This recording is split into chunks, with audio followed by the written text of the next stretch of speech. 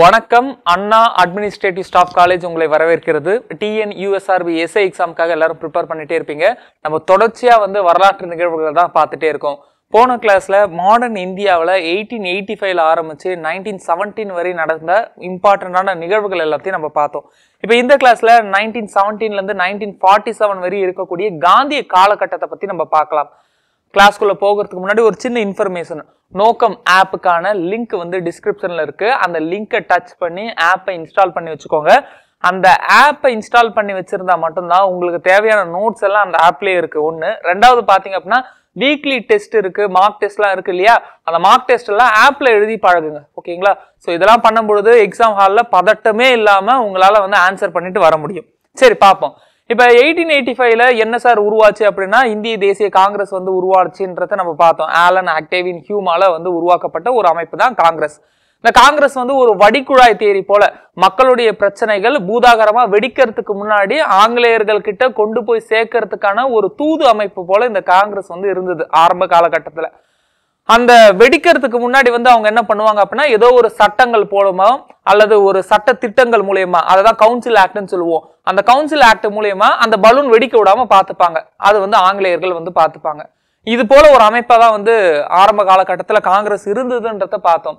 இப்போ காங்கிரஸ் வந்து என்ன முடிவு பண்ணிட்டாங்க அப்படின்னா எயிட்டீன் ஃபிஃப்டி செவன் ரிவோல்ட்டில் ஜாதி மதம் எல்லாத்தையுமே வந்து கடந்து மக்கள் எல்லாருமே வந்து ஒன்று சேர்றாங்க. மன்னர்கள் எல்லாருமே வந்து ஒன்று சேர்ந்து எங்கே போகிறாங்க டெல்லியை போய் ஒரு முகலாய அரசனை வந்து பார்க்குறாங்க. கடைசி அரசன்.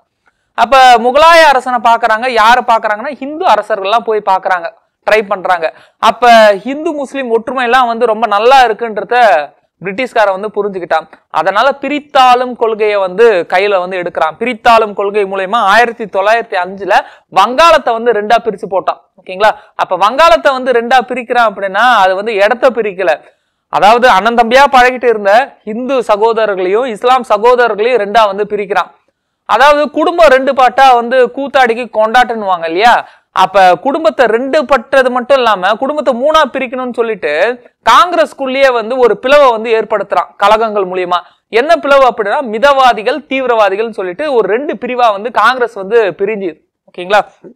அப்ப பாருங்க இந்தியான்ற ஒரு தேசத்துல ஒற்றுமை இருக்கவே கூடாதுன்றதுக்காக என்ன பண்றான் அப்படின்னா ஹிந்து முஸ்லீம் ரெண்டு பிரிவா பிரிக்கிறான் அப்புறமா வந்து காங்கிரஸ்குள்ள மிதவாதிகள் தீவிரவாதிகள்னு சொல்லிட்டு மறுபடியும் வந்து பிரிவுகளா வந்து பிரிக்கிறான் அப்ப குடும்பம் வந்து மூணா வந்து செதஞ்சிச்சு.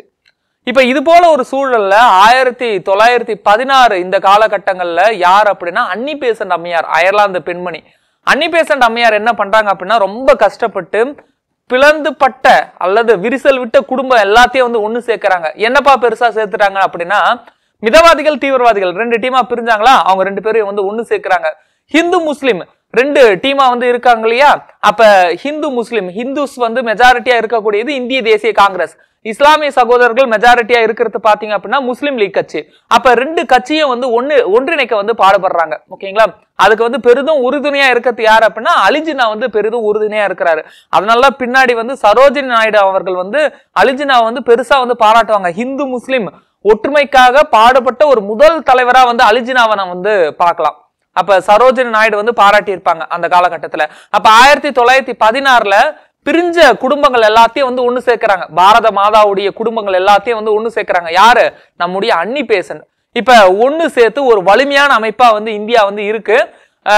இந்தியாவுடைய இந்த காலகட்டங்களில் பார்த்தீங்க அப்படின்னா ஆயிரத்தி தொள்ளாயிரத்தி பதினாலில் ஆரம்பிச்சு ஆயிரத்தி தொள்ளாயிரத்தி பதினெட்டுல உலக போர் முதல் உலக போர் வந்து நடந்துட்டு இருக்கு. ஓகேவா அப்ப இந்த முதல் உலக போர்ல ஆங்கிலேயர்களுக்கு சப்போர்ட் பண்ண இந்திய சிப்பாய்கள் எல்லாமே வந்து கிளம்பி போறாங்க. இந்திய சிப்பாய்கள் எல்லாமே கிளம்பி போறாங்க.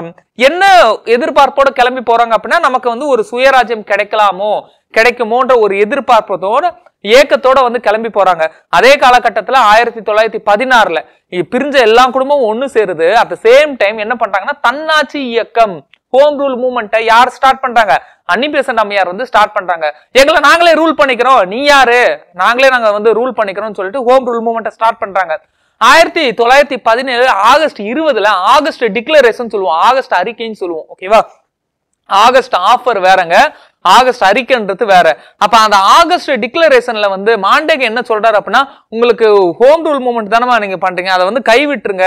என்னென்னவோ பண்ணி பார்ப்பாங்க. அன்னி பேசன் அம்மையாரை வந்து பிடிச்சி ஜெயில போடுவாங்க. எல்லாமே பண்ணி பார்ப்பாங்க. எதுவும் வேலைக்கு ஆகாது. ஏன்னா ஒரு சைடு வந்து திலகர் வந்து நல்லா ஸ்ட்ராங்கா வந்து சப்போர்ட் பண்ணிட்டு இருக்காரு அன்னி பேசண்ட் அம்மையாருக்கு. ஸோ திலகரை பத்தி ஆங்கிலேயர்களுக்கு வந்து தெரியும். திலகர் வந்து ரொம்ப மோசமான ஆளு. திலகர் நினைச்சாரு அப்படின்னா இந்தியா முழுக்க எல்லா இளைஞர்களையும் வந்து ஒன்று சேர்க்கக்கூடிய சக்தி திலகர்கிட்ட இருக்கு. ஏன்னா திலகருடைய சிசியப்புல தான் வாவுசி தென்னாட்டு திலகர் யாரு? வாவு சிதம்பரனார். அப்ப வாவுசியை பத்தி தெரியுது திலகரை பத்தி தெரியுது சுப்பிரமணிய பாரதியை பத்தி தெரியுது சிவாவை பத்தி தெரியுது அப்படின்னா திலகர் வந்து சாதாரண ஆள் இல்ல. இப்ப திலகர் அன்னி பேசண்ட் எல்லாரும் வந்து ஒண்ணு சேர்றாங்க. அது மட்டும் இல்லாம மாடரேட்னு சொல்லக்கூடிய மிதவாதிகளும் வந்து என்ன? இப்ப ஒண்ணு சேர்ந்து இருக்காங்க. அதனால என்ன பண்றாரு? ஆயிரத்தி தொள்ளாயிரத்தி பதினேழுல ஆகஸ்ட் ஆஃபர் மூலயமா என்ன சொல்றாங்க அப்படின்னா உங்களுக்கு நாங்க தன்னாட்சியை வந்து கொடுக்குறோம். கொஞ்சம் பொறுத்துக்கோங்க.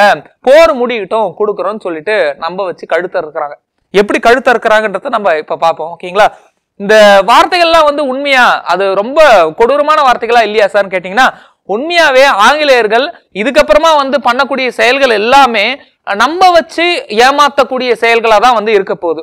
இப்ப எல்லாரும் ஒண்ணு சேர்ந்துட்டாங்க. எல்லாரும் எதுக்காக எதிர்பார்த்துட்டு இருக்காங்க அப்படின்னா நமக்கு தன்னாட்சி கிடைக்கும்னு சொல்லிட்டு இந்திய தேசமே வந்து எதிர்பார்த்துட்டு இருக்கு. இது போல காலகட்டத்துல தான் ஆயிரத்தி தொள்ளாயிரத்தி பதினஞ்சுல ஒரு ஆக சிறந்த தலைவரா காந்தியடிகள் வந்து இந்தியாவுக்கு வந்து ரிட்டர்ன் வராரு. இந்தியாவுக்கு வந்து வராரு. அவர் இந்தியாவில தான் சார் பிறந்தாரு. எங்க இருந்து வரத்துக்கு? தென்னாப்பிரிக்காவில இருந்து வராரு. ஆமாங்க அவர் இந்தியாவில தான் பிறந்தாரு. வெளிநாட்டுல போய் பாரிஸ்டர் பட்டம்லாம் வந்து வாங்கினாரு. ஆஹ் ஒரு இந்தியருக்கு ஒரு சட்ட சிக்கல் இருந்ததுனால அங்க போய் வழக்காட வந்து சென்றாரு. தென்னாப்பிரிக்காவில் இந்திய குடும்பங்கள் நிறைய இருக்கு. இந்திய மக்கள் நிறைய பேர் இருக்காங்க. இந்தியர்களை வந்து கருப்பினத்தவர்கள் சொல்லி சொல்லி இந்தியர்களுக்கு கிடைக்கக்கூடிய உரிமைகள் எல்லாத்தையும் வந்து தடுத்தாங்க. ஓகேங்களா? யார்? அங்கேயே ஆங்கிலேயர்கள் தான்.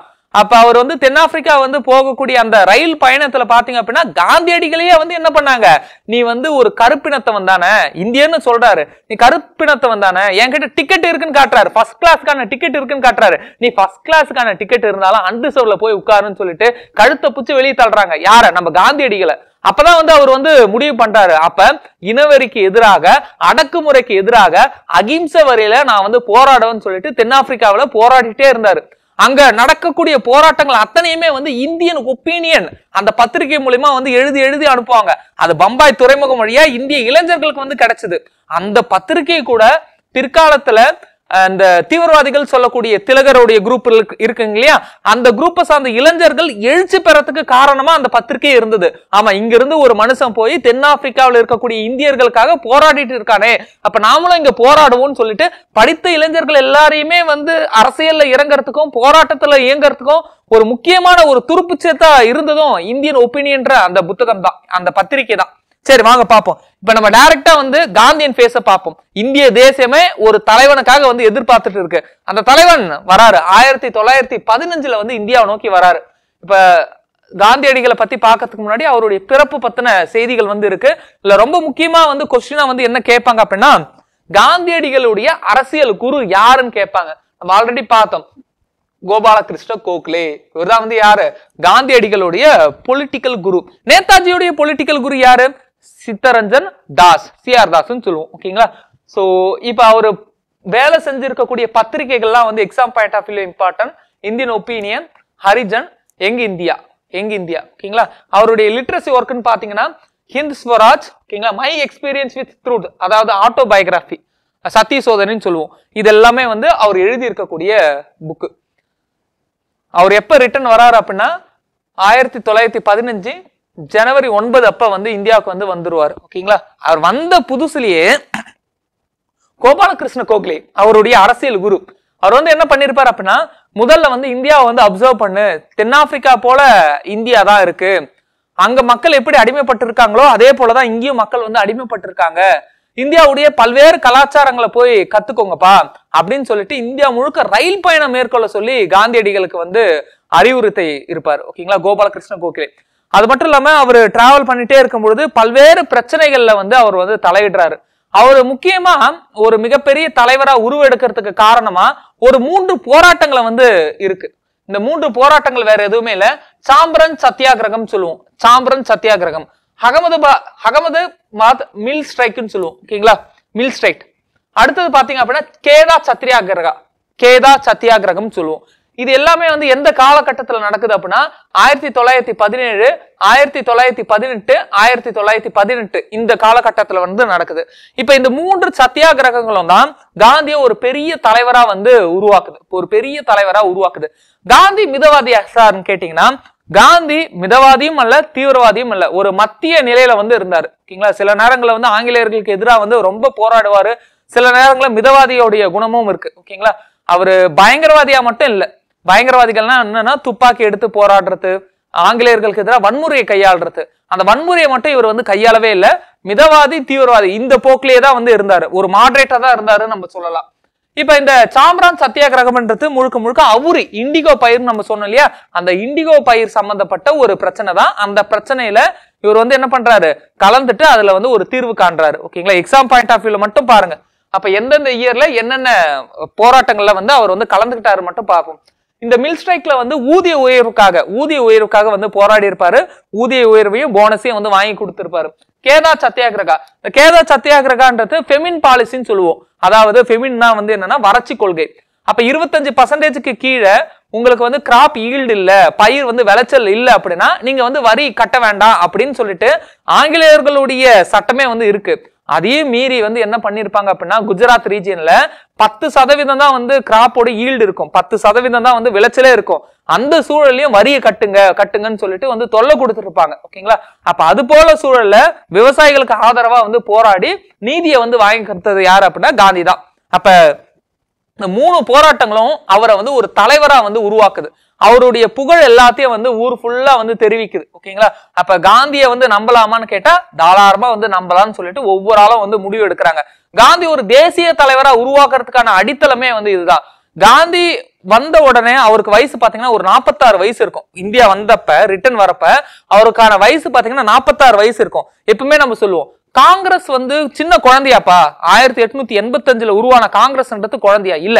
காங்கிரஸ் உருவாகும் பொழுதே அது கை கால்லாம் முளைச்ச ஒரு இளைஞன் போல நடக்க ஆரம்பிச்சிச்சு. ஏன் இந்த வார்த்தை நான் சொல்றேன்னா காங்கிரஸ் உருவானதுக்கு அப்புறமா காங்கிரஸ்ல இருக்கக்கூடிய பெரும்பாலான தலைவர்கள் யாரு?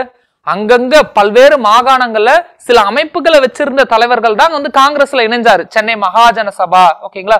அப்ப பூனா பூனாவில் இருக்கக்கூடிய சில அமைப்புகள் கொல்கத்தாவில் இருக்கக்கூடிய சில அமைப்புகள் எல்லா அமைப்புகளும் ஒன்னு சேர்ந்து காங்கிரஸ்ல வந்து மெர்ஜ் ஆயிடுச்சு.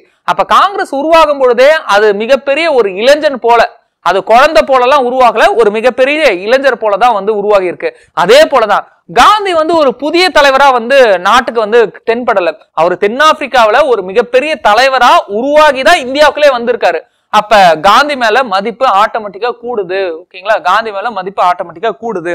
அப்ப பாருங்க இந்த மூன்று போராட்டங்கள் மூலியமா காந்தி வந்து இன்னும் வந்து அதிகப்படியா ஃபேமஸ் ஆகுறாரு. இப்ப முதல் உலக போர் வந்து முடியுது. ஆயிரத்தி தொள்ளாயிரத்தி பதினெட்டுல முடியுது. எல்லாரும் என்ன எதிர்பார்க்கறாங்க? அன்னி பேசன்ட் அம்மையார் தன்னாட்சி இயக்கம் மூலயமா வந்து என்ன கேட்டாங்க அப்படின்னா உங்களுக்கு வந்து நாங்க வந்து தன்னாட்சி சுதந்திரத்தை வந்து கொடுக்குறோம். நீங்க உங்களையே ரூல் பண்ணிக்கலான்ற ஆகஸ்ட் ஆஃபர் வந்து கொடுத்தாச்சு. பாண்டேக்கு வந்து கொடுத்தாச்சு.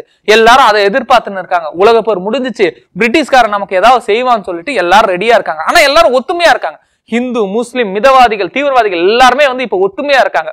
அப்ப இது போல ஒரு சூழல்ல நம்ம எதிர்பார்த்த ஒரு தகவலுக்கு மாறா வந்து இன்னொரு சட்டம் வருது. நம்ம எதிர்பார்த்தது என்ன? தன்னாட்சி தானே? ஆனா ஆயிரத்தி தொள்ளாயிரத்தி பத்தொன்பதுல ஆயிரத்தி தொள்ளாயிரத்தி பத்தொன்பதுல ஓகேங்களா? மார்ச் மாசம் ஒரு சட்டத்தை வந்து வெளியிடுறாங்க. யாரு? ஆங்கிலேயர்கள் வந்து வெளியிடுறாங்க. என்ன சட்டம் அப்படின்னா அதுக்கு பேர் ரவுலட் ஆக்ட். அதுக்கு பேர் வந்து என்னது? Rowlatt act.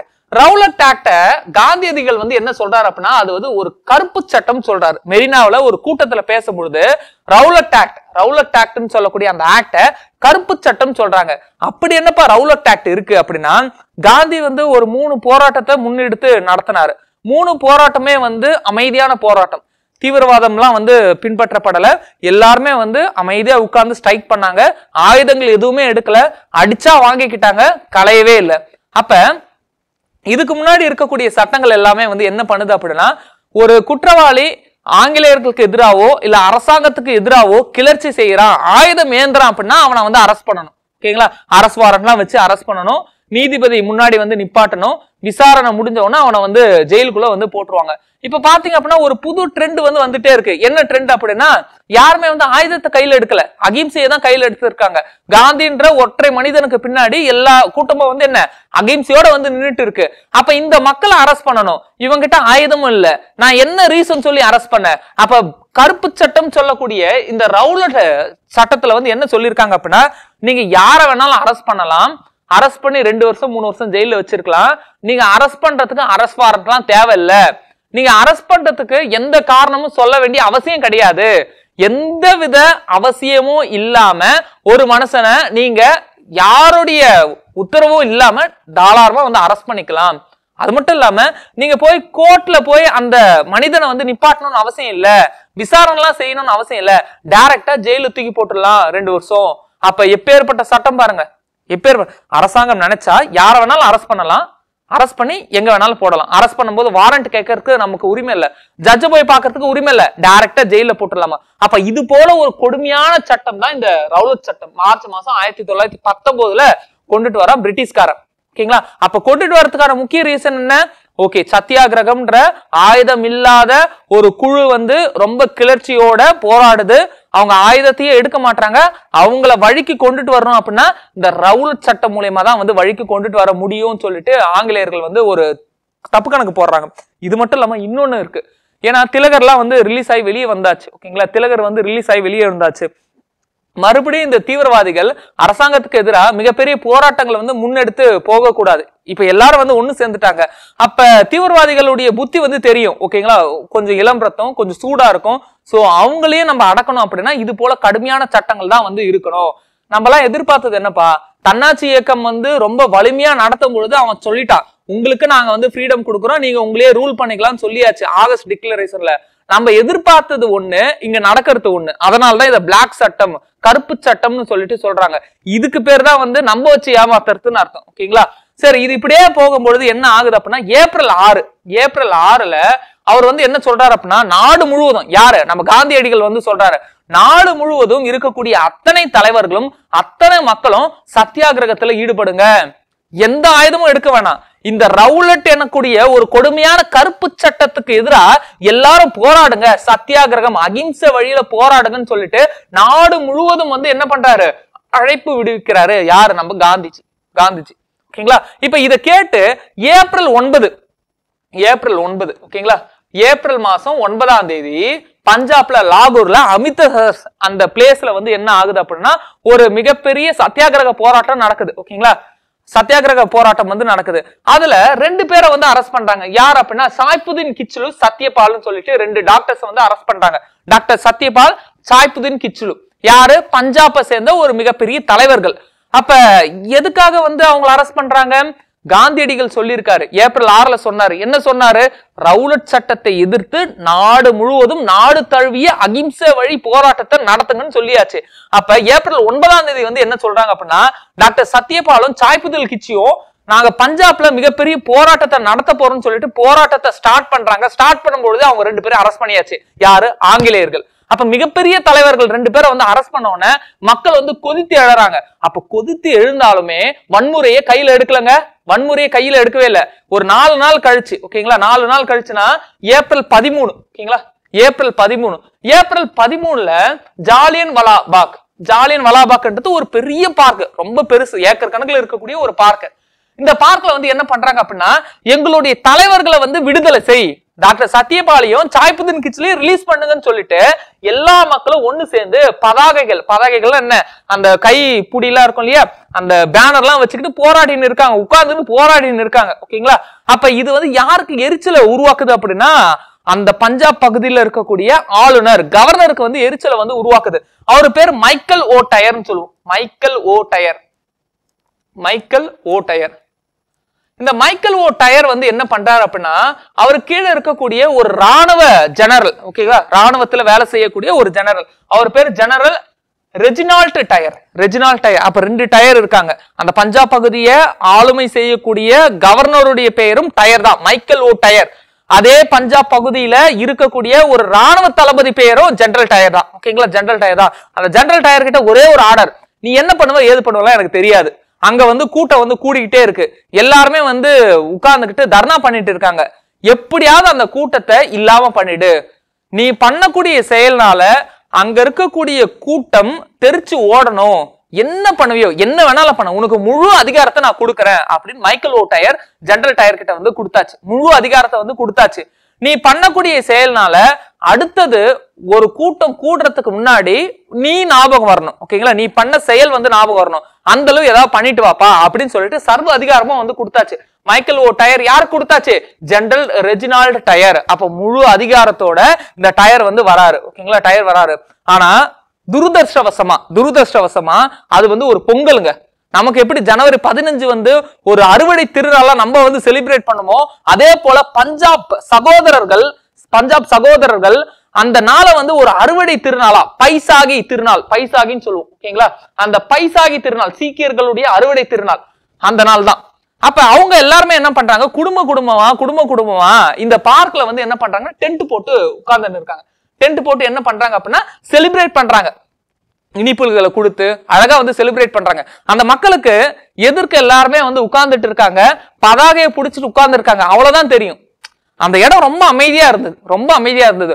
ஒரு சாரார் என்ன பண்றாங்க அப்படின்னா அமைதியா உட்கார்ந்துக்கிட்டு ஒரு சத்தியாகிரக போராட்டத்தை வந்து நடத்திட்டு இருக்காங்க. அதுக்கு ஆப்போசிட்ல அது பெரிய ஏக்கர் கணக்குல இருக்கிற பார்க் இல்லையா? அதுக்கு ஆப்போசிட்ல இன்னொரு சாரார் வந்து என்ன பண்றாங்க அப்படின்னா உட்கார்ந்துட்டு பொங்கல் ஃபெஸ்டிவலை வந்து செலிப்ரேட் பண்ணிட்டு இருக்காங்க. நம்ம பாசையில பொங்கல் ஃபெஸ்டிவல் அறுவடை திருநாளை வந்து செலிப்ரேட் பண்ணிட்டு இருக்காங்க.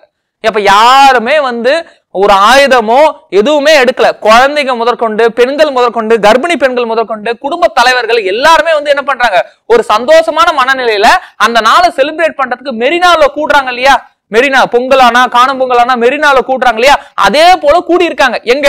ஜாலியன் வலாபாக்குன்ற அந்த பார்க்ல இப்ப ஜெனரல் டயர் வந்து என்ன பண்றாரு அப்படின்னா ஒரு பெரிய போலீஸ் போர்ஸ் அது ரொம்ப பெருசாலாம் இல்ல. ஒரு நூறு பேர் இருக்கக்கூடிய ஒரு போலீஸ் போர்ஸ் கூட வந்து என்ன பண்றாரு அப்படின்னா ஒரு பீரங்கி. பீரங்கி. அதுக்கப்புறம் நிறைய தோட்டாக்கள் அடங்கிய துப்பாக்கி எல்லாத்தையும் எடுத்துட்டு வராரு. அந்த பார்க்க சுத்தி இருக்கக்கூடிய காம்பவுண்ட் எல்லாம் ரொம்ப பெருசு ஹைட் ஹைட்டா இருக்கும். ஓகேங்களா அந்த பார்க்ல ஒரே ஒரு நுழைவாயில் இருக்கு. ஒரே ஒரு நுழைவாயில் இருக்கு. அந்த நுழைவு வாயில வந்து திறக்கிறாரு.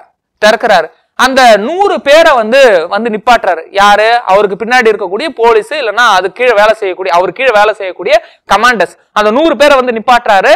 பெரிய பெரிய ஆயுதங்களோட வந்து ரெடியா இருக்காரு. அந்த கேட்டை வந்து க்ளோஸ் பண்ண விடுறாரு. கேட்டை வந்து க்ளோஸ் பண்ண விடுறாரு. அவருக்கு கீழே அந்த நூறு பேர் வந்தாங்களே அவங்களுக்கு கூட தெரியாதா? நம்ம என்ன பண்ண போறோம்? எதுக்கு வந்திருக்கோம்? எதுவுமே தெரியாது. ஓகேவா என்னையா பொங்கல் அப்ப இருந்தாலும் கூப்பிடுறாருன்னு சொல்லிட்டு வந்துட்டாங்க. ஓகேங்களா வந்துட்டாங்க. வந்தவங்க எல்லாருமே வந்து இந்திய சிப்பாய்கள் தான். இந்திய சிப்பாய்கள் தான். இந்திய சிப்பாய்கள் ஆங்கிலேயர்கள் கீழே வேலை செய்வாங்க இல்லையா? அந்த சிப்பாய்கள் தான் வந்திருக்காங்க. டோர் எல்லாத்தையும் வந்து க்ளோஸ் பண்ணியாச்சு. ஒரே ஒரு வாசல். அதையும் க்ளோஸ் பண்ணியாச்சு அதையும் க்ளோஸ் பண்ணியாச்சு. இப்போ ஜென்ரல் டயர் வந்து என்ன சொல்றாங்க அப்படின்னா அந்த நூறு பேரை பார்த்து உங்கள் கிட்டே இருக்கக்கூடிய துப்பாக்கியில் இருக்கக்கூடிய தோட்டாகள் காலியாகிற வரையும் நீங்க சுட்டுட்டே இருங்க. யாரை வேணாலும் சுடலாம். ஆனா இங்க இருக்கிற யாருமே உயிரோட இங்க இருந்து தப்பிச்சு போக கூடாது இதான் அவர் கொடுக்குற ஆர்டர் அவர் கொடுக்குற ஆர்டர் ஜனங்களுக்கு புரியவே இல்லை. ஏன்? ஒரு ஒரு சைடு பார்த்தா பொங்கல் ஃபெஸ்டிவல் செலிப்ரேட் பண்ணிட்டு இருக்காங்க. இன்னொரு சைடு பார்த்தா எந்த ஆயுதமும் இல்லாம வெறும் பதாகைகளை பிடிச்சிட்டு டாக்டர் சத்யபாலை விடுதலை செய் சாய்ப்புதன் கிச்சிலே விடுதலை செய்ன்னு சொல்லிட்டு பிடிச்சிட்டு உட்கார்ந்து இருக்காங்க. அவ்வளவுதான். என்ன தடியடி நடத்தி தானே கலைப்பாங்க? அந்த தைரியத்துல அப்படியே உட்கார்ந்து தான் இருக்காங்க. திடீர்னு பார்த்தா துப்பாக்கி சூடு. இது யாருமே எதிர்பார்க்கல. மக்கள் எல்லாருமே வந்து அங்கங்கங்க செதறி ஓடுறாங்க. செதறி ஓடுறாங்க. ஓகேங்களா? மக்கள் எதிர்பார்க்கவே இல்லை. எதிர்பார்த்திருந்தா வந்து கையில வந்து அருவா கம்பு எல்லாத்தையும் எடுத்துட்டு வந்திருப்பான். நம்மால எதையுமே எதிர்பார்க்காம வந்தான். அப்ப முழுக்க முழுக்க முழுக்க முழுக்க தோட்டாக்களுடைய சத்தம். இந்த துப்பாக்கில இருந்து எல்லா தோட்டமும் சீறி பாயுது. ஒவ்வொரு ஆளும் வந்து சாகுறாங்க. ஒவ்வொரு ஆளும் சாகுறாங்க. அதுல நான் செத்தாலும் பரவாயில்ல. என் குழந்தையாவது பிழைக்கணும் இல்லையா? எப்படியாவது எந்த குழந்தைய காப்பாத்தன்னு சொல்லிட்டு நிறைய பேர் வழிய தேடுறாங்க. அப்படி பார்க்க பொழுது அங்க ஒரே ஒரு கிணறு இருந்தது. அந்த கிணத்துல அந்த பொங்கல் ஃபெஸ்டிவலை செலிப்ரேட் பண்ணவங்க அந்த குழந்தையோட வந்து விழறாங்க. எப்படியா வந்து அவன் வந்து போலீஸ்காரெல்லாம் போயிடுவான். போனதுக்கு அப்புறமா நம்ம எழுந்து போயிடலாம். அந்த கனவோட வந்து ஒவ்வொரு ஆளா ஒவ்வொரு ஆளா வந்து விழறாங்க. அந்த கிணத்துல விழுந்து மூழ்கி செத்தவங்களே நிறைய பேர். ஏன்னா மேல மேல மேல மேல அத்தனை பேர் வந்து விழறாங்க. ஈவு இறக்கமே இல்லாம அத்தனை பேர் விழுந்ததுக்கு அப்புறமா அந்த கிணத்துக்குள்ள வந்து சுடுறான். பிரிட்டிஷ்காரன். கிணத்துக்குள்ள வந்து சுடுறான். ஜென்ரல் டயர் வந்து அவ்வளவு அக்கிரமம் வந்து பண்ணியிருக்காரு. அந்த துப்பாக்கி சூடு சுட சுட சுட அங்க எல்லாமே வந்து மரண ஓலம். சுட்டு முடிச்ச உடனே அங்க வந்து பொங்கல் ஃபெஸ்டிவல்ல சந்தோஷமா இருந்த அந்த பகுதி முழுக்க ரத்த கலரியாவும் பிணவாடையாவும் அடிக்குது. அந்த மண்ணை எடுத்து பார்த்தோம் அப்படின்னா அந்த மண்ணுல அந்த சேரோட இருக்கக்கூடிய மண்ணு அந்த தை மாசத்துல இருக்கக்கூடிய மண்ணு பார்க்கும் பொழுது அந்த சேரோட நல்ல மண் வாசனை அடிக்கும். ஆனா அங்க இருக்கக்கூடிய மண்ணை எடுத்து பார்க்கும் பொழுது அதுல ரத்த வாசனை அடிக்குது. ரத்த வாசனை அடிக்குது. இந்த பகுதிகளை பிற்காலத்துல அதே அதே பகுதியில அதே பகுதியில இந்த துயர சம்பவம் நடந்து முடிஞ்சதுக்கு அப்புறமா பகத்சிங் அவருடைய பசங்க அவங்களுடைய ஃப்ரெண்ட்ஸ் எல்லாருமே வந்து பார்ப்பாங்க. அந்த பகுதி முழுக்க வந்து அந்த ரத்த கலரையா இருக்கும் பொழுது அது பஞ்சாப்பை சேர்ந்தவர் தானே அப்ப ரத்த கலரையா இருக்கும் பொழுது ஒரு கண்ணாடி பாட்டில்ல அந்த ரத்தம் தோய்ந்த மண்ணை வந்து எடுத்துட்டு போனதா வந்து வரலாறு இருக்கு. எடுத்துன்னு போயிட்டு இந்த நிகழ்வுக்கு நான் வந்து கண்டிப்பா வந்து பழி வாங்கியே தருவேன். பழி வாங்கவே தருவேன். ஆயுதம் இல்லாம நிராயுதபாணியா வந்து மக்கள் நிக்கிறாங்க. அந்த நேரத்துல தடியடி நடத்தி வந்து களைச்சு விடுவியா? இல்ல சுட்டு ஒண்ணுமே இல்லாம வந்து பண்ணிட்டியே? அந்த கோவம் தான் எல்லாருக்கும். ஒண்ணுமே இல்ல ஒண்ணுமே இல்ல. பிரிட்டிஷோடைய ரெக்கார்ட் படி என்ன சொல்றாங்க அப்படின்னா முன்னூத்தி எழுபத்தி ஒன்பது பேர் வந்து அந்த படுகொலையில வந்து இறந்ததா சொல்றாங்க. அதுதான் வந்து ஜாலியன் வலாபாக் படுகொலை. அது வந்து பிரிட்டிஷுடைய அபிஷியல் ரெக்கார்டு ஆனா அந்த ரெக்கார்ட்ல சொன்னது எல்லாமே வந்து டேட்டா வந்து தப்பு. அதை விட மூணு மடங்கு நாலு மடங்கு ஆயிரம் ரெண்டாயிரம் மக்கள் வந்து இறந்திருக்கலாம் அப்படின்னு வந்து இந்திய வரலாற்று ஆய்வாளர்கள் வந்து சொல்றாங்க. சரி இது எல்லாத்தையும் வந்து பண்ணி முடிச்சதுக்கு அப்புறமா ஒரு குற்ற உணர்ச்சியாவது இருக்கணும் இல்லைங்க? ஜென்ரல் டயரை பிடிச்சி வந்து கேட்கறாங்க ஜென்ரல் டயரை பிடிச்சி வந்து வாக்குமூலம் வந்து எடுக்கிறாங்க. அப்படி வாக்குமூலம் எடுக்கும் பொழுது என்ன சொல்றாரு அப்படின்னா ஆமா நான் போனேன் போய் சுட்டேன். என்கிட்ட வந்து தோட்டாக்கள் எல்லாமே வந்து ரொம்ப கம்மியா தான் இருந்தது. என்கிட்ட இன்னும் நிறைய ஆயுதங்களும் இன்னும் நிறைய தோட்டாக்களும் இருந்து இருந்தது அப்படின்னா ஒவ்வொரு உடம்பையும் ரொம்ப பீஸ் பீஸா ஆகிற அளவு நிறைய சுட்டு இருப்பேன். நான் இந்த நிகழ்வு மூலயமா எனக்கு வந்து குற்ற உணர்ச்சிலாம் எதுவும் இல்லை. குற்ற உணர்ச்சிலாம் எதுவும் இல்லை. ஆனா நான் எதிர்பார்த்ததை விட கம்மியான அளவு தான் மக்கள் வந்து செத்துருக்காங்க. நான் எதுக்காக இதை பண்ண அப்படின்னா வரலாற்றுல என்னை கேட்டாலே எல்லா மக்களும் பயப்படணும். மறுபடியும் இது போல ஒரு கூட்டம் மறுபடியும் வந்து சேரக்கூடாது. இதுதான் எனக்கு மேல இருக்கக்கூடிய மைக்கேல் ஓ டயர் சொன்னது. மைக்கேல் ஓ டயர் என்ன சொன்னாரு? இதுக்கு மேல கூட்டம் அங்க சேரவே கூடாது. நீ என்ன வேணாலும் பண்ணுன்னு சொன்னாரு இல்லையா? அதை மட்டுமே என் மைண்ட்ல இருந்தது. அதனால தான் நான் சுட்டேன். இதனால நான் வருத்தலாம் படல அப்படின்னு சொல்லிட்டாரு. அதை விட ஹைலைட் என்னன்னா அவருக்கு எந்த தண்டனையும் வந்து கொடுக்கல. ஜென்ரல் டயருக்கு வந்து எந்த தண்டனையும் கொடுக்கல. அதுக்கு பதிலாக வந்து பரிசு பொருட்கள் தான் வந்து கிடைச்சதா வந்து சொல்றாங்க. அப்ப இது போல ஒரு அக்கிரமமான செயல் வந்து ஜாலியன் வலாபாக் அந்த பகுதியில வந்து நடந்தது. அப்ப பாருங்க ஆயிரத்தி தொள்ளாயிரத்தி பதினாலுலேருந்து பதினெட்டில் பதினெட்டுல முதல் உலக போறப்ப இந்திய சிப்பாய்கள் தான் வந்து பிரிட்டிஷ்காரங்க ஹெல்ப் பண்ண போயிருக்காரு. போயிருக்காங்க. நம்ம ஆளுங்க தான் வந்து போயிருக்கோம். ஆயிரத்தி தொள்ளாயிரத்தி பதினாறுல தன்னாட்சி இயக்கத்தை வந்து நடத்தும் பொழுது அவன் வந்து சொன்னான் ஆயிரத்தி தொள்ளாயிரத்தி பதினேழு ஆகஸ்ட் இருபதுல மாண்டேக்கு வந்து என்ன சொல்லியிருப்பாரு அப்படின்னா உங்களுக்கு வந்து நாங்க தன்னாட்சியை வந்து கொடுக்கணும்னு சொல்லியிருப்பாங்க. ஆனா அவங்க கொடுத்த மிகப்பெரிய பரிசு வந்து இதுதான். ஜாலியன் வலாபாக் படுகொலை தான். அப்ப அத்தனை மக்களும் வந்து இறந்து போயிட்டாங்க. அப்ப வரலாற்றுல ஒரு கருப்பு தினமா வந்து இந்த ஏப்ரல் பதிமூணை வந்து நம்ம பார்க்கலாம். ஏப்ரல் பதிமூணை வந்து நம்ம பார்க்கலாம். பிற்காலத்துல பிற்காலத்துல இந்த ஜாலியன் வலாபாக் படுகொலைக்காக உத்தம் சிங் ஓகேவா உத்தம் சிங் ஆயிரத்தி தொள்ளாயிரத்தி நாற்பதுல ஆயிரத்தி தொள்ளாயிரத்தி நாற்பதுல லண்டன் போறாரு. ஹே மிஸ்டர் அப்படின்னு தோலை தட்டுறாரு. திரும்புறாரு. யாரோ ஒரு ஆள் திரும்புறாங்கப்பா கையில வச்சிருந்த துப்பாக்கி வச்சு சுட்டாச்சு ஓகேவா திரும்பினது யாரா இருப்பாங்க? ஜெனரல் டயரா மைக்கேல் ஓ டயரா பார்க்கும் பொழுது மைக்கேல் ஓ டயர் ஓகேவா மைக்கேல் ஓ டயரை தான் வந்து சுடுறாங்க. ஜென்ரல் டயருக்கு ஜென்ரல் டயருக்கு யாருப்பா அதிகமான இம்பார்ட்டன்ட் வந்து கொடுத்தாங்க? ஜென்ரல் டயர் சுட்டு கொண்டான் இல்லையா அவனுக்கு அத்தனை அதிகாரமும் கொடுத்தது மைக்கேல் ஓட்டயர் தானே? அதனால மைக்கேல் ஓட்டயரை ஆயிரத்தி தொள்ளாயிரத்தி நாற்பதுல வந்து சுட்டுட்டாரு. யார் அப்படின்னா? நம்மளுடைய உத்தம் சிங். அப்ப இவர் வந்து அந்த காலத்துல வந்து என்ன இருப்பார் அப்படின்னா இந்த நிகழ்வு எல்லாத்தையும் வந்து பார்த்த ஒரு பதின்ம சிறுவனா வந்து இருப்பார். ஓகேங்களா ரொம்ப குட்டி குழந்தையா வந்து இருப்பாங்க. ஓகேங்களா பகத்சிங்கும் வந்து என்ன? பள்ளி போகக்கூடிய குழந்தை. அந்த குழந்தையோடைய மனசுல வந்து பாருங்களேன் என் தாத்தா என் பாட்டன் ஒண்ணுமே இல்லாம பொங்கல் ஃபெஸ்டிவல் செலிப்ரேட் பண்ண வந்தாங்க. இப்படி வந்து செத்து கிடக்குறாங்கன்ற அந்த மனவேதனை தான் வந்து அதிகமா இருக்கும். ஓகேவா? சரி இதெல்லாம் பார்த்தோன்னே நம்ம காந்தியடிகளும் ரவீந்திரநாத் தாகூரும் என்ன பண்ணிருப்பாங்க அப்படின்னா இனிமே பிரிட்டிஷ்காரன் கொடுத்த எந்த டைட்டில் எனக்கு வேண்டாம் இவ்வளவு கேவலமா வந்து நடந்திருக்காங்க இல்லையா? ஒரு மனிதாபிமானம் இல்லாத ஒரு செயலை பண்ண இந்த பிரிட்டிஷ்காரன் கொடுத்த டைட்டில் எதுவும் எனக்கு வேண்டாம் நைட் ஊட்டுன்ற ஒரு டைட்டிலை வந்து திறந்திருப்பார். யார்? ரவீந்திரநாத் தாகூர். நைட் ஊட்டுன்ற டைட்டில் வந்து என்னன்னா வீர திருமகன். அப்படிதான் வந்து அதுக்கான அர்த்தம். அதுக்கப்புறம் பார்க்கும்பொழுது கெய்சர் ஹிஹிந்த் இது வந்து யார் கொடுத்திருப்பாங்க அப்படின்னா காந்திக்கு வந்து கொடுத்திருப்பாங்க. காந்தியும் தன்னுடைய பட்டத்தை வந்து துறக்குறாங்க. இது ஆயிரத்தி தொள்ளாயிரத்தி பத்தொன்பதுல வந்து நடக்குது. அப்ப ஆயிரத்தி தொள்ளாயிரத்தி ஆயிரத்தி தொள்ளாயிரத்தி பத்தொன்பதுல நம்ம எதிர்பார்த்தது நமக்கு தேவையான சில விஷயங்கள் வந்து கிடைக்கும்னு பார்த்தோம். பட் அவங்க கொடுத்தது ரவுலட் ஆக்ட். ரவுலட் ஆக்டை வந்து கொண்டுட்டு வந்து அதன் மூலியமா ஜாலியன் வலாபாக் அந்த பகுதியில ஒரு படுகொலையை வந்து நிகழ்த்தியாச்சு. படுகொலையை வந்து நிகழ்த்தியாச்சு. அப்போ ஆயிரத்தி தொள்ளாயிரத்தி பத்தொன்பதுல இது போல ஒரு துயர சம்பவம் வந்து நடந்திருக்கு. இதையும் தாண்டி அடுத்ததா கிலாஃபத் மூமெண்ட். இதுவும் ஆயிரத்தி தொள்ளாயிரத்தி பத்தொன்பதுகளில் நடக்கக்கூடிய ஒரு இயக்கம் தான் கிலாஃபத் மூமெண்ட். என்ன ஆகுது அப்படின்னா முதல் உலக போர் முதல் உலகப் போர்ல பார்க்கும் பொழுது ஜெர்மனி ஆஸ்திரேலியா துருக்கி இது போல நாடுகள்லாம் வந்து ஒரு சைடுல இருக்கு. ஓகேங்களா? இந்த பிரிட்டிஷ்காரன் அமெரிக்கா இவங்கெல்லாம் வந்து ஒரு சைடு வந்து இருக்காங்க. நம்ம யாருக்காக சண்டை போடுறோம் அப்படின்னா பிரிட்டிஷ்காரனுக்காக தான் வந்து சண்டை போடுறோம். நம்ம சிப்பாய்கள்லாம். அப்ப இந்த போர்ல வந்து தோத்து போறது யார் அப்படின்னா இந்த துருக்கி ஜெர்மனி இந்த சைடு எல்லாமே வந்து தோத்து போறாங்க. இதுல துருக்கிய ஆட்சி செய்யக்கூடிய அந்த நபருக்கு பேரு கலிஃபா. நம்ம வந்து டெல்லி சுல்தானட்லயே பார்த்திருப்போம். கலிஃபா கலிஃபான்னு சொல்லுவோம். அப்ப அந்த கலிஃபா வந்து என்ன பண்றாங்க அப்படின்னா அரெஸ்ட் பண்ணி அந்த கலிஃபா வந்து அவமரியாதைக்கு வந்து உள்ளாக்குறாங்க. யாரு? பிரிட்டிஷ்காரன். அப்ப இந்த கலிஃபாவை அவமரியாதைக்கு உள்ளாக்கும் பொழுது உலகம் முழுவதும் இருக்கக்கூடிய இஸ்லாமியர்கள் வந்து என்ன பண்றாங்க? எங்க தலைவரை நீங்க வந்து அவமானப்படுத்துறீங்க. உங்களுக்கு எதிராக போராடவும் சொல்லிட்டு ஒரு மூமெண்ட்டை வந்து முன்னெடுத்து நடத்துறாங்க. அதுதான் கிலாஃபத் இயக்கம் சொல்றோம். அதுதான் வந்து என்னன்னு சொல்றோம்? கிலாஃபத் இயக்கம். இந்த கிலாஃபத் இயக்கம். அப்ப கிலாஃபத் இயக்கம்ன்றது இங்க இருக்கக்கூடிய இந்தியாவில் இருக்கக்கூடிய இஸ்லாமிய சகோதரர்களும் ஆங்கிலேயர்களுக்கு எதிராக எங்க தலைவரை நீங்க வந்து என்ன பண்ணிருக்கீங்க? அவமானப்படுத்திருக்கீங்க. அந்த கலீஃபாவை அவமானப்படுத்துனதுனால உங்களுக்கு எதிராக நாங்க போராடுறோம்னு சொல்லிட்டு நடத்தக்கூடிய ஒரு இயக்கம் தான் இந்த கிலாஃபத் மூமெண்ட். ஆரம்ப காலகட்டத்துல ஆயிரத்தி தொள்ளாயிரத்தி அஞ்சுல வங்காளத்தை பிரிக்கும் பொழுது இஸ்லாமியர்கள் வந்து ரொம்ப வந்து மகிழ்ச்சியா இருந்ததா சொல்ல முடியாது. எங்களுக்கு வந்து தனி தொகுதி வந்து கிடைச்சது. எங்களுக்கான தனி இடம் வந்து கிடைச்சதுன்னு சொல்லிட்டு இருந்தாங்க. பட் ஆயிரத்தி தொள்ளாயிரத்தி பதினொன்னுல மறுபடியும் வங்காளத்தை வந்து இணைச்சாங்க. வங்காளத்தை இணைக்கும் பொழுது அசாம் பீகார் இது போல பகுதிகளை இது போல ஸ்டேட்டை வந்து தனியா வந்து பிரிச்சுட்டாங்க.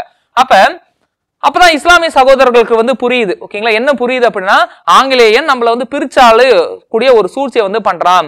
இந்து சகோதரர்கள் கிட்ட இருந்து இஸ்லாமியர்களை பிரிச்சு நமக்குள்ள சண்டையை மூற்றாண்டது ஆயிரத்தி தொள்ளாயிரத்தி பதினொன்னுல வந்து ரியலைஸ் பண்றாங்க. அதுக்கான முக்கிய ரீசனே வந்து யார் அப்படின்னா அலிஜின்னா தான். ஓகேங்களா அலிஜின்னா ஸ்டார்டிங்கே வந்து சொல்லியிருப்பாரு.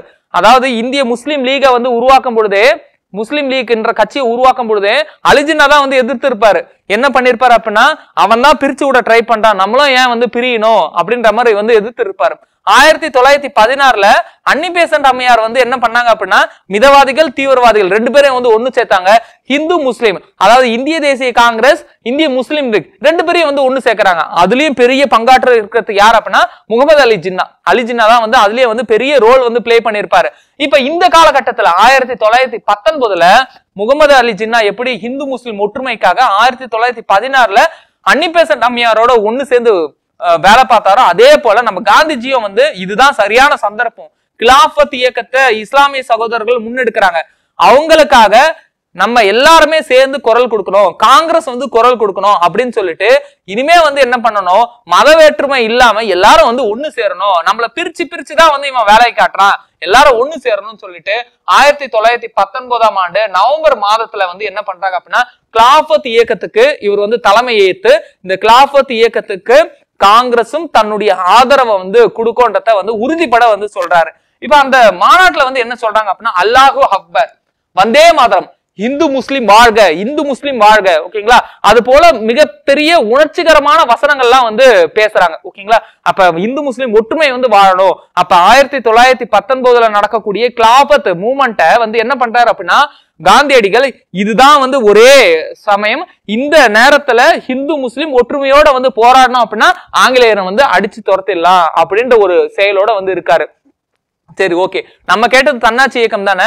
ஆனா ஆங்கிலேயர்கள் வந்து நமக்கு வந்து தன்னாட்சி இயக்கத்தை வந்து கொடுத்தாங்களான்னு கேட்டா கொடுக்கல. ஆயிரத்தி தொள்ளாயிரத்தி பத்தொன்பதுல மாண்டேகு மாண்டேகு யாருங்க? செக்ரட்டரி ஆஃப் ஸ்டேட் இங்கிலாந்துல இருக்காரு இல்லையா? ராணியுடைய ராணிக்கு அடுத்த நிலையில இருக்காரு இல்லையா? அந்த செக்ரட்டரி ஆஃப் ஸ்டேட் தான் வந்து மாண்டேகு செம்ஸ்போர்ட் யார் அப்படின்னா இந்தியாவில் இருக்கக்கூடிய ஆள் வைஸ்ராய் இந்தியாவில் இருக்கக்கூடிய வைஸ்ராய் இந்த மாண்டேகும் இந்த செம்ஸ்போர்டும் ஒன்று சேர்ந்து ஒரு சட்டத்தை வந்து வெளியிடுறாங்க. அதான் வந்து இந்தியன் கவுன்சில் ஆக்ட் அல்லது மாண்டேகு செம்ஸ்போர்ட் ரிஃபார்ம்னு சொல்லுவோம் ஆயிரத்தி தொள்ளாயிரத்தி பத்தொன்பதுல.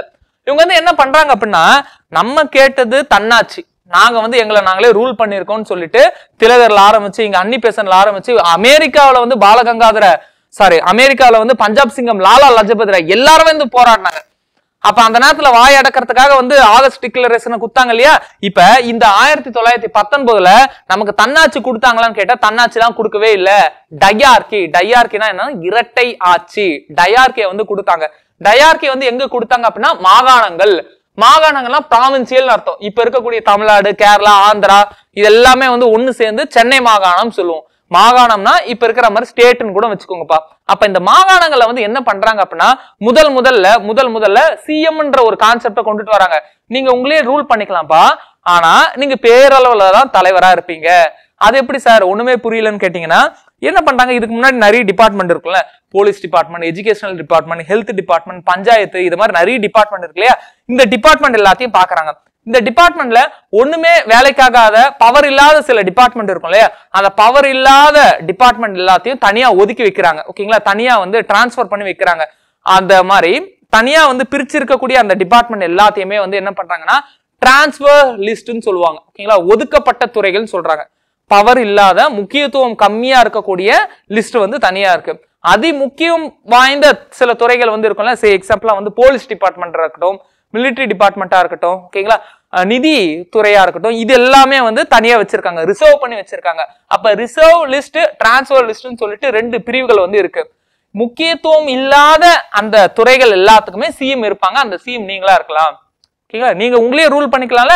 இந்த முக்கியத்துவம் இல்லாத பகுதிகளில் இந்த முக்கியத்துவம் இல்லாத துறைகள்ல நீங்க ஆதிக்கம் செலுத்தலாம். அப்ப இந்த மாகாணங்கள்ல ரெண்டு ஆட்சி இருக்கு. ரெண்டு ஆட்சினா என்ன? முக்கியத்துவம் இல்லாத துறைகளை ஆட்சி பண்றதுக்கு சிஎம் இருக்காரு. அதிமுக்கியத்துவம் வாய்ந்த பகுதிகளை அல்லது அதி முக்கியத்துவம் வாய்ந்த துறைகளை ஆட்சி பண்றதுக்கு ஆளுநர் இருக்காரு. ஆளுநர் பிரிட்டிஷ்காரன். கவர்னர் பிரிட்டிஷ்காரன். இப்ப தமிழ்நாடு சிஎம் கவர்னர். இப்ப யாருக்கு வந்து பவர் அதிகம்? கண்டிப்பா சிஎம்க்கு தான் பவர் அதிகம். இந்த காலகட்டத்துல. ஆனா ஆயிரத்தி தொள்ளாயிரத்தி பத்தொன்பதுல சிஎம் ஒரு சைடு கவர்னர் ஒரு சைடு யாருக்கு அதிகமான பவர் அப்படின்னா கவர்னருக்கு தான் பவர் அதிகம். சிஎம்க்கு பவர் இல்ல. அப்ப நாங்க கேட்டது சுயாச்சு நீ கொடுத்தது டயார்க்கு அதுவும் வந்து பல்லு புடுங்கின பாம்பா எங்களை யூஸ் பண்ணிக்கிற. அப்படின்னு சொல்லிட்டு காங்கிரஸ் வந்து என்ன தெரியுமா பண்ணோம்? அப்ப ஒவ்வொன்றும் ஒவ்வொன்றும் நீங்க நம்ப வச்சு கழுத்தா இருக்கிறீங்க. எங்களுக்கு சுயாட்சி வேணும்னு கேட்டோம். நீங்க டயார்கே கொடுக்குறீங்க. எங்களுக்கு ரவுலட்டே வேணாம்னோம் நீங்க ரவுலட் சட்டத்தை கொண்டுட்டு வந்து ஜாலியன் வலாபாக் படுகொலையில எல்லாரையும் வந்து கொண்டுட்டீங்க அப்ப எல்லாமே வந்து மிகப்பெரிய துரோகங்களா இருக்கு. அப்ப என்ன பண்றாரு அப்படின்னா காந்திஜி ஒத்துழையாமை இயக்கம். ஆங்கிலேயனுக்கு நம்ம வந்து ஒத்துழைக்கவே கூடாது. அவன் என்ன சொல்றான்? எலெக்ஷன் மூலியமா சிஎம் எடுக்கலான்றான். எலெக்ஷன் மூலியமா நீங்க ஒரு ஆளை வந்து தேர்ந்தெடுக்கலாம். இவங்களுக்கு நாங்க வந்து டிரான்ஸ்பர் டிபார்ட்மெண்ட் வந்து கொடுக்குறோம். ஒதுக்கப்பட்ட துறைகளை வந்து கொடுக்குறோம். இந்த டிபார்ட்மெண்ட்ல இருக்கக்கூடிய அத்தனை துறைகளுமே வந்து அத்தனை டிபார்ட்மெண்ட்டுமே ரொம்ப டம்மியான டிபார்ட்மெண்ட் ரொம்ப கம்மியா பவர்ல கம்மியா இருக்கக்கூடிய துறைகள் தான். இந்த சிஎம்ஆ சிஎம்மா இருக்கக்கூடிய உங்களுக்கு பதவி காலம்ன்றது மூன்று வருடம் இருக்கு. சோ இதுக்காக நாங்க வந்து என்ன பண்ண போறோம் அப்படின்னா தேர்தலும் நடத்த போறோம். தேர்தல் நடத்த போறோம். இந்த தேர்தலில் எல்லாரும் ஓட்டு போடலாமான்னு கேட்டா அப்படிலாம் ஓட்டு போட முடியாது. யார் அதிகமா டாக்ஸ் பே பண்றாங்க? யார் விபிஐபியா இருக்காங்களோ அவங்க எல்லாருமே வந்து ஓட்டு போடலாம்னு சொல்றாங்க. ஓகேங்களா? அப்ப இது போல ஒரு ஸ்கீம் இருக்கு. அப்ப இந்த ஸ்கீம் எங்களுக்கு தேவையில்ல. நாங்க இது கேட்கல அப்படின்னு வந்து காங்கிரஸ் வந்து என்ன பண்ணுது? இந்த சட்டத்தையே வந்து புறக்கணிக்குது. ஓகேங்களா? இந்த இந்த ஸ்கீமையே வந்து புறக்கணிக்கிறாங்க. அப்ப காங்கிரஸ் வந்து என்ன பண்ண போறாங்க அப்படின்னா அடுத்த ஒரு போராட்டத்தை வந்து அறிவிக்கிறாங்க. அந்த போராட்டம் தான் ஆயிரத்தி தொள்ளாயிரத்தி இருபதுல அறிவிக்கக்கூடிய ஒத்துழையாமை இயக்கம். ஓகேங்களா? ஆயிரத்தி தொள்ளாயிரத்தி இருபதுல ஒத்துழையாமை இயக்கம். இது எப்ப ஸ்டார்ட் ஆகுது அப்படின்னா ஆகஸ்ட் மாதம் முதல் தேதி. ஆகஸ்ட் ஒண்ணு ஆயிரத்தி தொள்ளாயிரத்தி இருபது. இனிமே பிரிட்டிஷ்காரன் எது பண்ணாலும் அவனுக்கு வந்து கோஆபரேட் பண்ணாத நான் கோஆபரேஷன் மூமெண்ட் ஒத்துழைக்காத ஒத்துழையாமை இயக்கம். ஓகேவா அப்ப இதுக்கு முன்னாடியே வந்து கிளாஃபத் மூமெண்ட் ஸ்டார்ட் ஆயிடுச்சு. இப்ப இந்த கிளாஃபத் மூமெண்ட்ல இன்வால்வ் ஆகி இருக்கக்கூடிய முஸ்லீம் லீக் இஸ்லாமிய சகோதரர்கள் இப்ப என்ன பண்றாங்க அப்படின்னா இஸ்லாமியர்கள் இந்துக்கள் சொல்லிட்டு தனித்தனியெல்லாம் பிரியல. எல்லாரும் ஒண்ணு சேர்றாங்க. வரலாற்றிலேயே எந்தவித பிரிவினையும் இல்லாம அகில இந்திய அளவுல இந்திய மக்கள் ஜாதி மதம் இனம் எந்த வேறுபாடும் இல்லாம ஒன்று சேர்ந்த ஒரு காலம் கேட்டீங்கன்னா இது ஆயிரத்தி தொள்ளாயிரத்தி இருபது தாங்க. இந்த காலத்துலதான் எல்லாரும் ஒண்ணு சேர்ந்தாங்க வரலாற்றுல. இதுக்கப்புறம் வந்து ஒண்ணு சேரல பெருசா. அப்ப ஆயிரத்தி தொள்ளாயிரத்தி இருபதுல ஒத்துழையாமை இயக்கம். ஆங்கிலேயருக்கு ஒத்துழைப்பு கொடுக்காத. அப்ப எந்தெந்த முறையெல்லாம் ஒத்துழைப்பு கொடுக்காத? காந்தியடிகள் வந்து லிஸ்ட் கொடுக்குறாரு. எந்தெந்த முறையெல்லாம் ஒத்துழைப்பு கொடுக்க கூடாதுன்றத லிஸ்ட் வந்து கொடுக்குறாரு. இப்ப பட்டங்கள். கவர்மெண்ட் கொடுக்குற பட்டம் எதையுமே வந்து ஏத்துக்காதப்பா. நான் ஆல்ரெடி வந்து என்ன பண்ணிட்டேன் அப்படின்னா என்னுடைய பட்டங்களை ஜாலியன் வலாபாக் படுகொலைக்காக வந்து நான் துறந்துட்டேன். ஓகேங்களா? ரவீந்திரநாத் தாகூர் நைட் ஊட்டுன்ற பட்டத்தை வந்து துறந்தாச்சு. அப்ப அரசாங்கம் கொடுக்கக்கூடிய பட்டங்கள் எதையுமே வந்து ஏத்துக்காதீங்க. ஒண்ணு. ரெண்டாவது பாத்தீங்க அப்படின்னா அரசுடைய செயல்பாடுகள். கவர்மெண்ட் வந்து ஒரு மீட்டிங் நடத்தும் இல்லையா? அரசு விழான்னு நடத்தும் இல்லையா? அந்த அரசு விழாவுல மக்கள் யாரும் பங்கு கொள்ளக்கூடாது. வெறிச்சோடியா இருக்கணும். அரசு ஆஹ், அனாதையா வந்து நிக்கணும். ஓகேங்களா? அடுத்தது பாத்தீங்க அப்படின்னா நீதிமன்ற வழக்குகளில் வழக்கறிஞர்கள் ஆஜராகாம இருங்க. ஆஜராகாம இருங்க. அப்ப நீதிமன்றமும் நடக்கக்கூடாது. அப்ப நீதிமன்றத்துல இந்திய நீதி வழக்கறிஞர்கள் எல்லாம் வந்து என்ன பண்ணக்கூடாது அப்படின்னா நீதி அதுல அந்த வழக்குரைஞர்கள் எல்லாருமே வந்து வழக்குல வாதாடக்கூடாது. நீதிபதிகளா இருக்கக்கூடிய இந்திய நீதிபதிகள் உங்க வேலையை வந்து ரிசைன் பண்ணுங்கன்னு சொல்றாங்க. இது மட்டும் இல்லாம கவர்மெண்ட் ஆபீசர் எல்லாருமே உங்க வேலையை வந்து ரிசைன் பண்ணுங்கன்னு சொல்றாங்க. யாரு கவர்மெண்ட் கவர்மெண்ட் வந்து பிரிட்டிஷ்காரன் தானே? அப்ப பிரிட்டிஷ் கீழே வேலை செய்யாத அவனுக்கு ஒத்துழைப்பு கொடுக்காதுன்னு சொல்றாங்க. ஓகேங்களா? அப்ப அரசு வேலைன்றது தேவையே இல்லைன்னு சொல்லியாச்சு. அப்ப இதுதான் வந்து இந்த பாயிண்ட் குடிமை பணி அல்லது ராணுவ பதவிகளை வந்து ஏற்கக்கூடாது. அப்ப இதன் அடிப்படையில் தான் நேதாஜி சுபாஷ் சந்திர போஸ் ஃபோர்த் ரேங்க் எடுத்து ஐசிஎஸ் எக்ஸாம பயங்கரமா வந்து கிளியர் பண்ணிருப்பாரு ஓகேங்களா? அப்ப அந்த நேதாஜி சுபாஷ் சந்திர போஸ் என்ன பண்ணிருப்பாரு அப்படின்னா எனக்கு இந்த பதவி வேண்டாம். ஐசிஎஸ் பதவியே எனக்கு வேண்டாம்னு சொல்லிட்டு என்ன பண்ணிவாரு அந்த பதவியிலிருந்து வெளியே வந்துடுவார் விலகிடுவார். ஓகேங்களா? இதையும் தாண்டி உள்நாட்டு பொருட்களை தான் நீங்க வாங்கணும். ஓகேங்களா? காதி கிராஃப்ட்னு சொல்லுவோம். காதினாலே என்னன்னா உள்நாட்டு பொருட்கள். உள்நாட்டு பொருட்கள் தான் வாங்கணும். அயல்நாட்டு பொருட்கள் எதுவும் தேவையில்ல. ஓகேங்களா? அயல்நாட்டு பொருட்கள்லாம் தேவையில்ல. இது எதுக்காகப்பா? அவனை எக்கனாமிக்கலா அடிக்கணும். வெள்ளக்காரனை வந்து எக்கனாமிக்கலா அடிக்கணும். இங்க இருந்தே பருத்தியை வாங்குவானா? அங்க பிரிட்டிஷில் பிரிட்டிஷ்ல போயிட்டு அந்த பருத்தி எல்லாத்தையும் துணியா மாத்துவானா? மறுபடியும் அதை இங்கேயே கொண்டுட்டு வருவானா? ரொம்ப கம்மியான டைம் பீரியட்ல இங்கேயே விற்பானா உள்ளூர்ல இருக்கக்கூடிய கைத்தறி நெசவாளர்கள்லாம் வந்து தூக்கு மாட்டிட்டு சாகணும். அப்ப இது வந்து மிகப்பெரிய எக்கனாமிக்கலா பொருளாதார ரீதியா இந்தியா வந்து நசுக்கிறதுக்காக பார்க்கக்கூடிய வேலை. பருத்தியின் தேசத்தை பருத்தியாலை அழித்தாளர்கள் ஆங்கிலேயர்கள்னு சொல்லிட்டு ஒரு கோட் வந்து இருக்கு. அப்ப நீங்க என்ன பண்ணணும் அப்படின்னா ஆங்கிலேயனுடைய ஃபேக்டரியில இருந்து வரக்கூடிய இல்ல ஆங்கிலேயர்களுடைய கம்பெனில இருந்து வரக்கூடிய எந்த பொருளையும் வாங்காதீங்க. அது ஒரு ரூபாய் பொருளா இருந்தாலும் சரி பல கோடி ரூபாய் பொருளாக இருந்தாலும் சரி எதையுமே வாங்காதீங்க. அவங்க சர்வீஸே வந்து எடுக்காதீங்க அப்படின்னு சொல்றாங்க. ஆங்கிலேயம் ஒரு ஸ்கூல் நடத்தினா அந்த ஸ்கூல்ல புள்ளிய வந்து சேர்க்காத. நம்ம ஊர் திண்ண பள்ளிக்கூடம் இருக்கும். அங்க போய் சேரு. ஓகேங்களா ஆங்கிலேயர்களுக்கு கடுமையான ஒரு நெருக்கடியை வந்து கொடுக்கறாரு. அப்ப இந்த மாதிரி ஒரு நெருக்கடி இந்தியா முழுவதும் கொடுக்கும் பொழுது ஆங்கிலேயன் தானா முன் வந்து அவனுடைய ப்ராமிஸை காப்பாத்தும் அவன் என்ன ப்ராமிஸ் பண்ணா உங்களுக்கு தன்னாட்சியை வந்து நான் கொடுக்குறேன்னு சொன்னேன் இல்லையா? அந்த ப்ராமிஸை காப்பாத்துவான்னு சொல்லிட்டு காந்தியடிகள் உறுதியா வந்து நம்பினாரு. ஓகேங்களா? அப்ப அவர் சொல்றது எல்லாமே வந்து என்ன அப்படின்னா அதுல முக்கியமான ஒண்ணு. ஆங்கிலேயர்கள் ஆயிரத்தி தொள்ளாயிரத்தி பத்தொன்பதுல மாண்டேக செம்ஸ்போர்ட் ரிஃபார்ம் மூலியமா மூணு வருஷத்துக்கு ஒரு வாட்டி ஒரு சிஎம் இருக்கலாம் தேர்தல் நடத்துவோம் நீங்க வந்து ரூல் பண்ணிக்கலாம்னு சொல்றோம் இல்லையா? அந்த எலெக்ஷனே நமக்கு வேண்டாம். எலெக்ஷனை புறக்கணிங்கன்னு சொல்லியிருப்பாரு. ஓகேவா? அப்ப அதனாலதான் காங்கிரஸ் வந்து என்ன பண்ணிருக்காரு? இந்த எலெக்ஷன் எதுலயுமே வந்து பார்ட்டிசிபேட் பண்ணிருக்காரு. ஐஎன்சி வந்து எலெக்ஷன் எதுலையுமே வந்து பார்ட்டிசிபேட் பண்ணியிருக்காது. த சேம் டைம் கீழே சவுத் இந்தியாவில் ஜஸ்டிஸ் பார்ட்டி வந்து என்ன பண்ணும் அப்படின்னா இந்த எலெக்ஷன் எல்லாத்தையும் வந்து பார்ட்டிசிபேட் பண்ணிட்டு இருப்பாங்க. ஆயிரத்தி தொள்ளாயிரத்தி இருபது இருபது இருபத்தி மூன்று மூன்று வருஷத்துக்கு ஒரு வாட்டி வந்து எலெக்ஷன் நடக்கும் இல்லையா? இந்த எலெக்ஷன்ஸ் எல்லாத்துலயுமே வந்து ஜஸ்டிஸ் பார்ட்டி வந்து பார்ட்டிசிபேட் பண்ணிட்டே இருப்பாங்க. அப்ப இது போல வந்து நடந்துட்டே இருக்கு. யாருக்கும் வந்து ஒத்துழைக்க மாட்டோம்னு. அப்ப சம்மரைஸ் பண்ணுங்க. ஆயிரத்தி தொள்ளாயிரத்தி பதினெட்டுல முதல் உலக போர் வந்து நடந்து முடியக்கூடிய அந்த காலகட்டத்துல இந்தியா ஒரு கனவோட காத்துட்டு இருக்கு தனக்கு தன்னாட்சி கிடைக்கும்னு ஆனா ஒரு இடியா பேரிடியா ரவுலட் சட்டத்தை கொண்டுட்டு வந்தாங்க. ரவுலத் சட்டத்து மூலியமா வந்து தலைவர்களை கைது பண்றாங்க. அந்த கைதை எதிர்த்து போராடக்கூடிய மக்களை வந்து சுட்டு கொள்றாங்க அது ஜாலியன் வலாபாக் படுகொலை.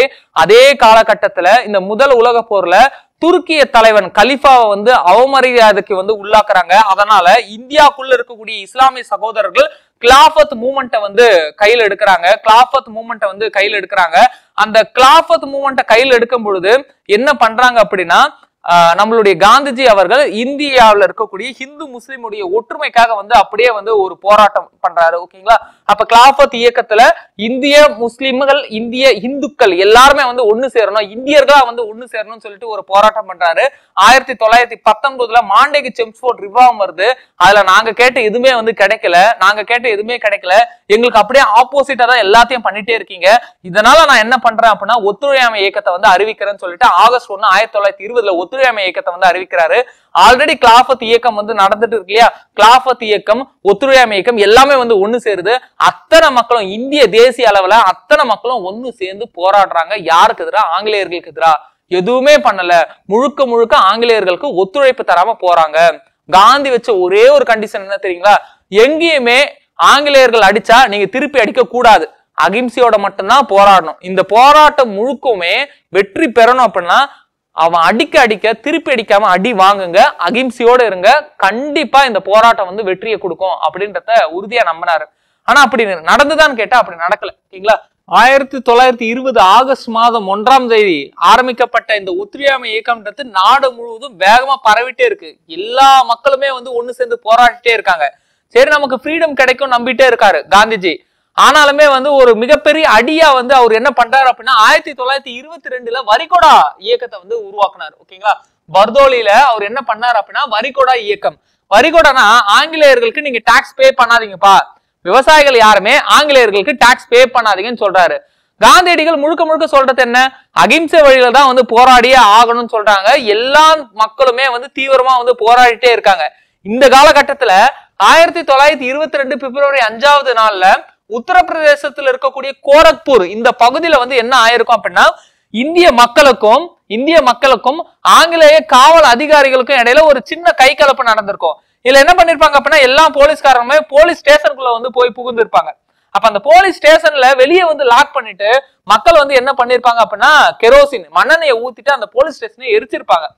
இந்த சம்பவத்துல ஒரு இருபத்தி ரெண்டு காவலர்கள் வந்து இறந்திருப்பாங்க. அந்த காவல் நிலையத்தை வந்து தீ வச்சதுனால இந்த சம்பவத்துல ஒரு இருபத்தி ரெண்டு காவலர்கள் வந்து இறந்திருப்பாங்க.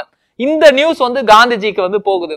நான் என்ன சொன்னேன்? முழுக்க முழுக்க ஆயுதங்கள் இல்லாத அகிம்சையான வழியில தானே போராடணும்னு சொன்னேன். ஆனா இன்னைக்கு நீங்க பாத்தீங்க அப்படின்னா இருபத்தி ரெண்டு பேரை வந்து இறந்துட்டாங்க. இந்த வன்முறையால வந்து இறந்துட்டாங்க. அதனால இந்த ஒத்துழையாமை இயக்கத்தை வந்து நான் கைவிடுறேன் அப்படின்னு வந்து உடனே அவசர அவசரமா வந்து சொல்லியிருப்பாரு. அவர் யாரையுமே வந்து கன்சிடர் பண்ணல. எங்கேயுமே வந்து ஒரு அவசர கூட்டம் கூட வந்து கூட்டவே இல்லை உடனே இந்த நியூஸை கேள்விப்பட்ட உடனே இந்தியா முழுக்கும் ஒத்துழையாமை இயக்கத்தை வாபஸ் பண்ணிக்கிட்டாரு. ஓகேங்களா? வாபஸ் பண்ணிக்கிட்டாரு. இப்ப என்ன பண்றாங்க அப்படின்னா ஆங்கிலேயர்கள் ஆயிரத்தி தொள்ளாயிரத்தி இருபத்தி ரெண்டு இந்த இன்சிடென்ட்க்கு அப்புறமா காந்திஜியை வந்து கைது பண்றாங்க. ஓகேங்களா? காந்தியை வந்து என்ன பண்றாங்க? கைது பண்றாங்க. காந்தியை கைது பண்ணதுக்கு அப்புறமா என்ன பண்றாங்க அப்படின்னா இந்த ஒத்துழையாமை இயக்கம் ஏன் இந்த அளவு வந்து வளர்ந்துட்டே போச்சு? அப்ப இதுக்கான ஆரம்ப புள்ளி வந்து எங்க இருக்கு? அப்படின்னு பார்க்கும் பொழுது ரவுலத் சட்டம் தான் ரவுலத் சட்டத்துடைய தொடர்ச்சி தான் வந்து ஜாலியன் வாலாபாக் படுகொலை.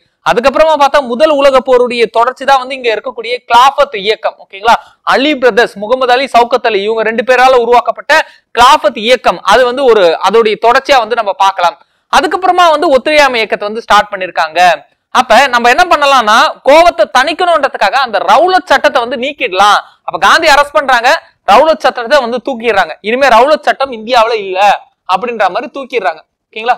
ரவுலட் சட்டத்தை தூக்கிடுறாங்க. இப்ப காந்திஜிக்கு என்ன பண்றாங்க அப்படின்னா ஆறு வருஷம் ஜெயில் வந்து கொடுக்குறாங்க. ஆறு வருட சிறை. ஆறு வருட சிறை. இப்ப ஆயிரத்தி தொள்ளாயிரத்தி இருபத்தி ரெண்டு டிசம்பர் மாசம் கயான்ற பகுதி புத்த கயான்னு சொல்லுவோம். ஓகேங்களா?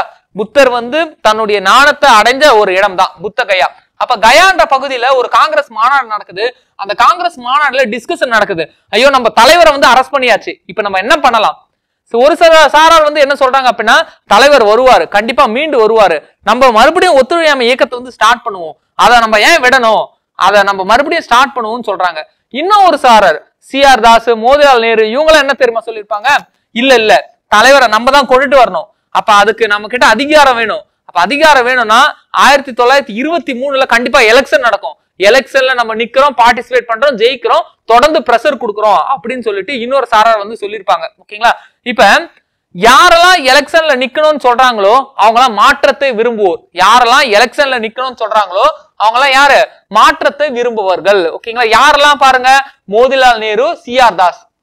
இன்னொரு டீம் இல்ல இல்ல இல்ல மா- நம்ம எலெக்ஷன்ல நிக்கிறோம் அப்படின்னா அது ஒத்துழையாமை இயக்கத்துக்கு அகேன்ஸ்ட் எலெக்ஷனையும் புறக்கணிக்கணும் தானேப்பா ஒத்துழையாமை இயக்கத்துல. நம்ம ஒத்துழையாமை இயக்கத்துக்கு அகைன்ஸ்டா போறோம். நம்ம தலைவருக்கே எதிராக போறோம். அது கூடாது. நம்ம ஒத்துழையாமை இயக்கத்தை வந்து நம்ம வந்து ஃபாலோ பண்ணணும் அப்படின்னு சொல்லிட்டு வல்லபாய் பட்டேல் ராஜாஜி இவங்க எல்லாம் என்ன சொல்றாங்க அப்படின்னா காந்தியுடைய ஒத்துழையாமை இயக்கத்தை நம்ம வந்து கண்டினியூஸா ஃபாலோ பண்ணணும்னு சொல்றாங்க. ஓகேங்களா? அப்ப இவங்கள நம்ம என்ன சொல்லணும் அப்படின்னா நோ சேஞ்சஸ் அதாவது எனக்கு வந்து மாற்றமே வேண்டாம்னு சொல்றாங்க. மாற்றத்தை விரும்பாதவர்கள் இவங்க. இவங்க வந்து மாற்றத்தை விரும்புவார்கள். ஓகேங்களா? ஒரு கட்டத்துல ஒரு கட்டத்துல என்ன ஆகுது அப்படின்னா இவங்க காங்கிரஸ்ல இருந்து காங்கிரஸ்ல இருக்காங்க. காங்கிரஸ்ல இருந்து ஒரு குட்டி கட்சியை வந்து ஃபார்ம் பண்றாங்க காங்கிரஸோட பி டீம் கூட வச்சுக்கலாம். ஓகேங்களா? இப்ப காங்கிரஸ்ல இருந்து கொஞ்சம் விலகி ஏன்னா காங்கிரஸ் வந்து எலெக்ஷன்ல பார்ட்டிசிபேட் பண்ணக்கூடாது.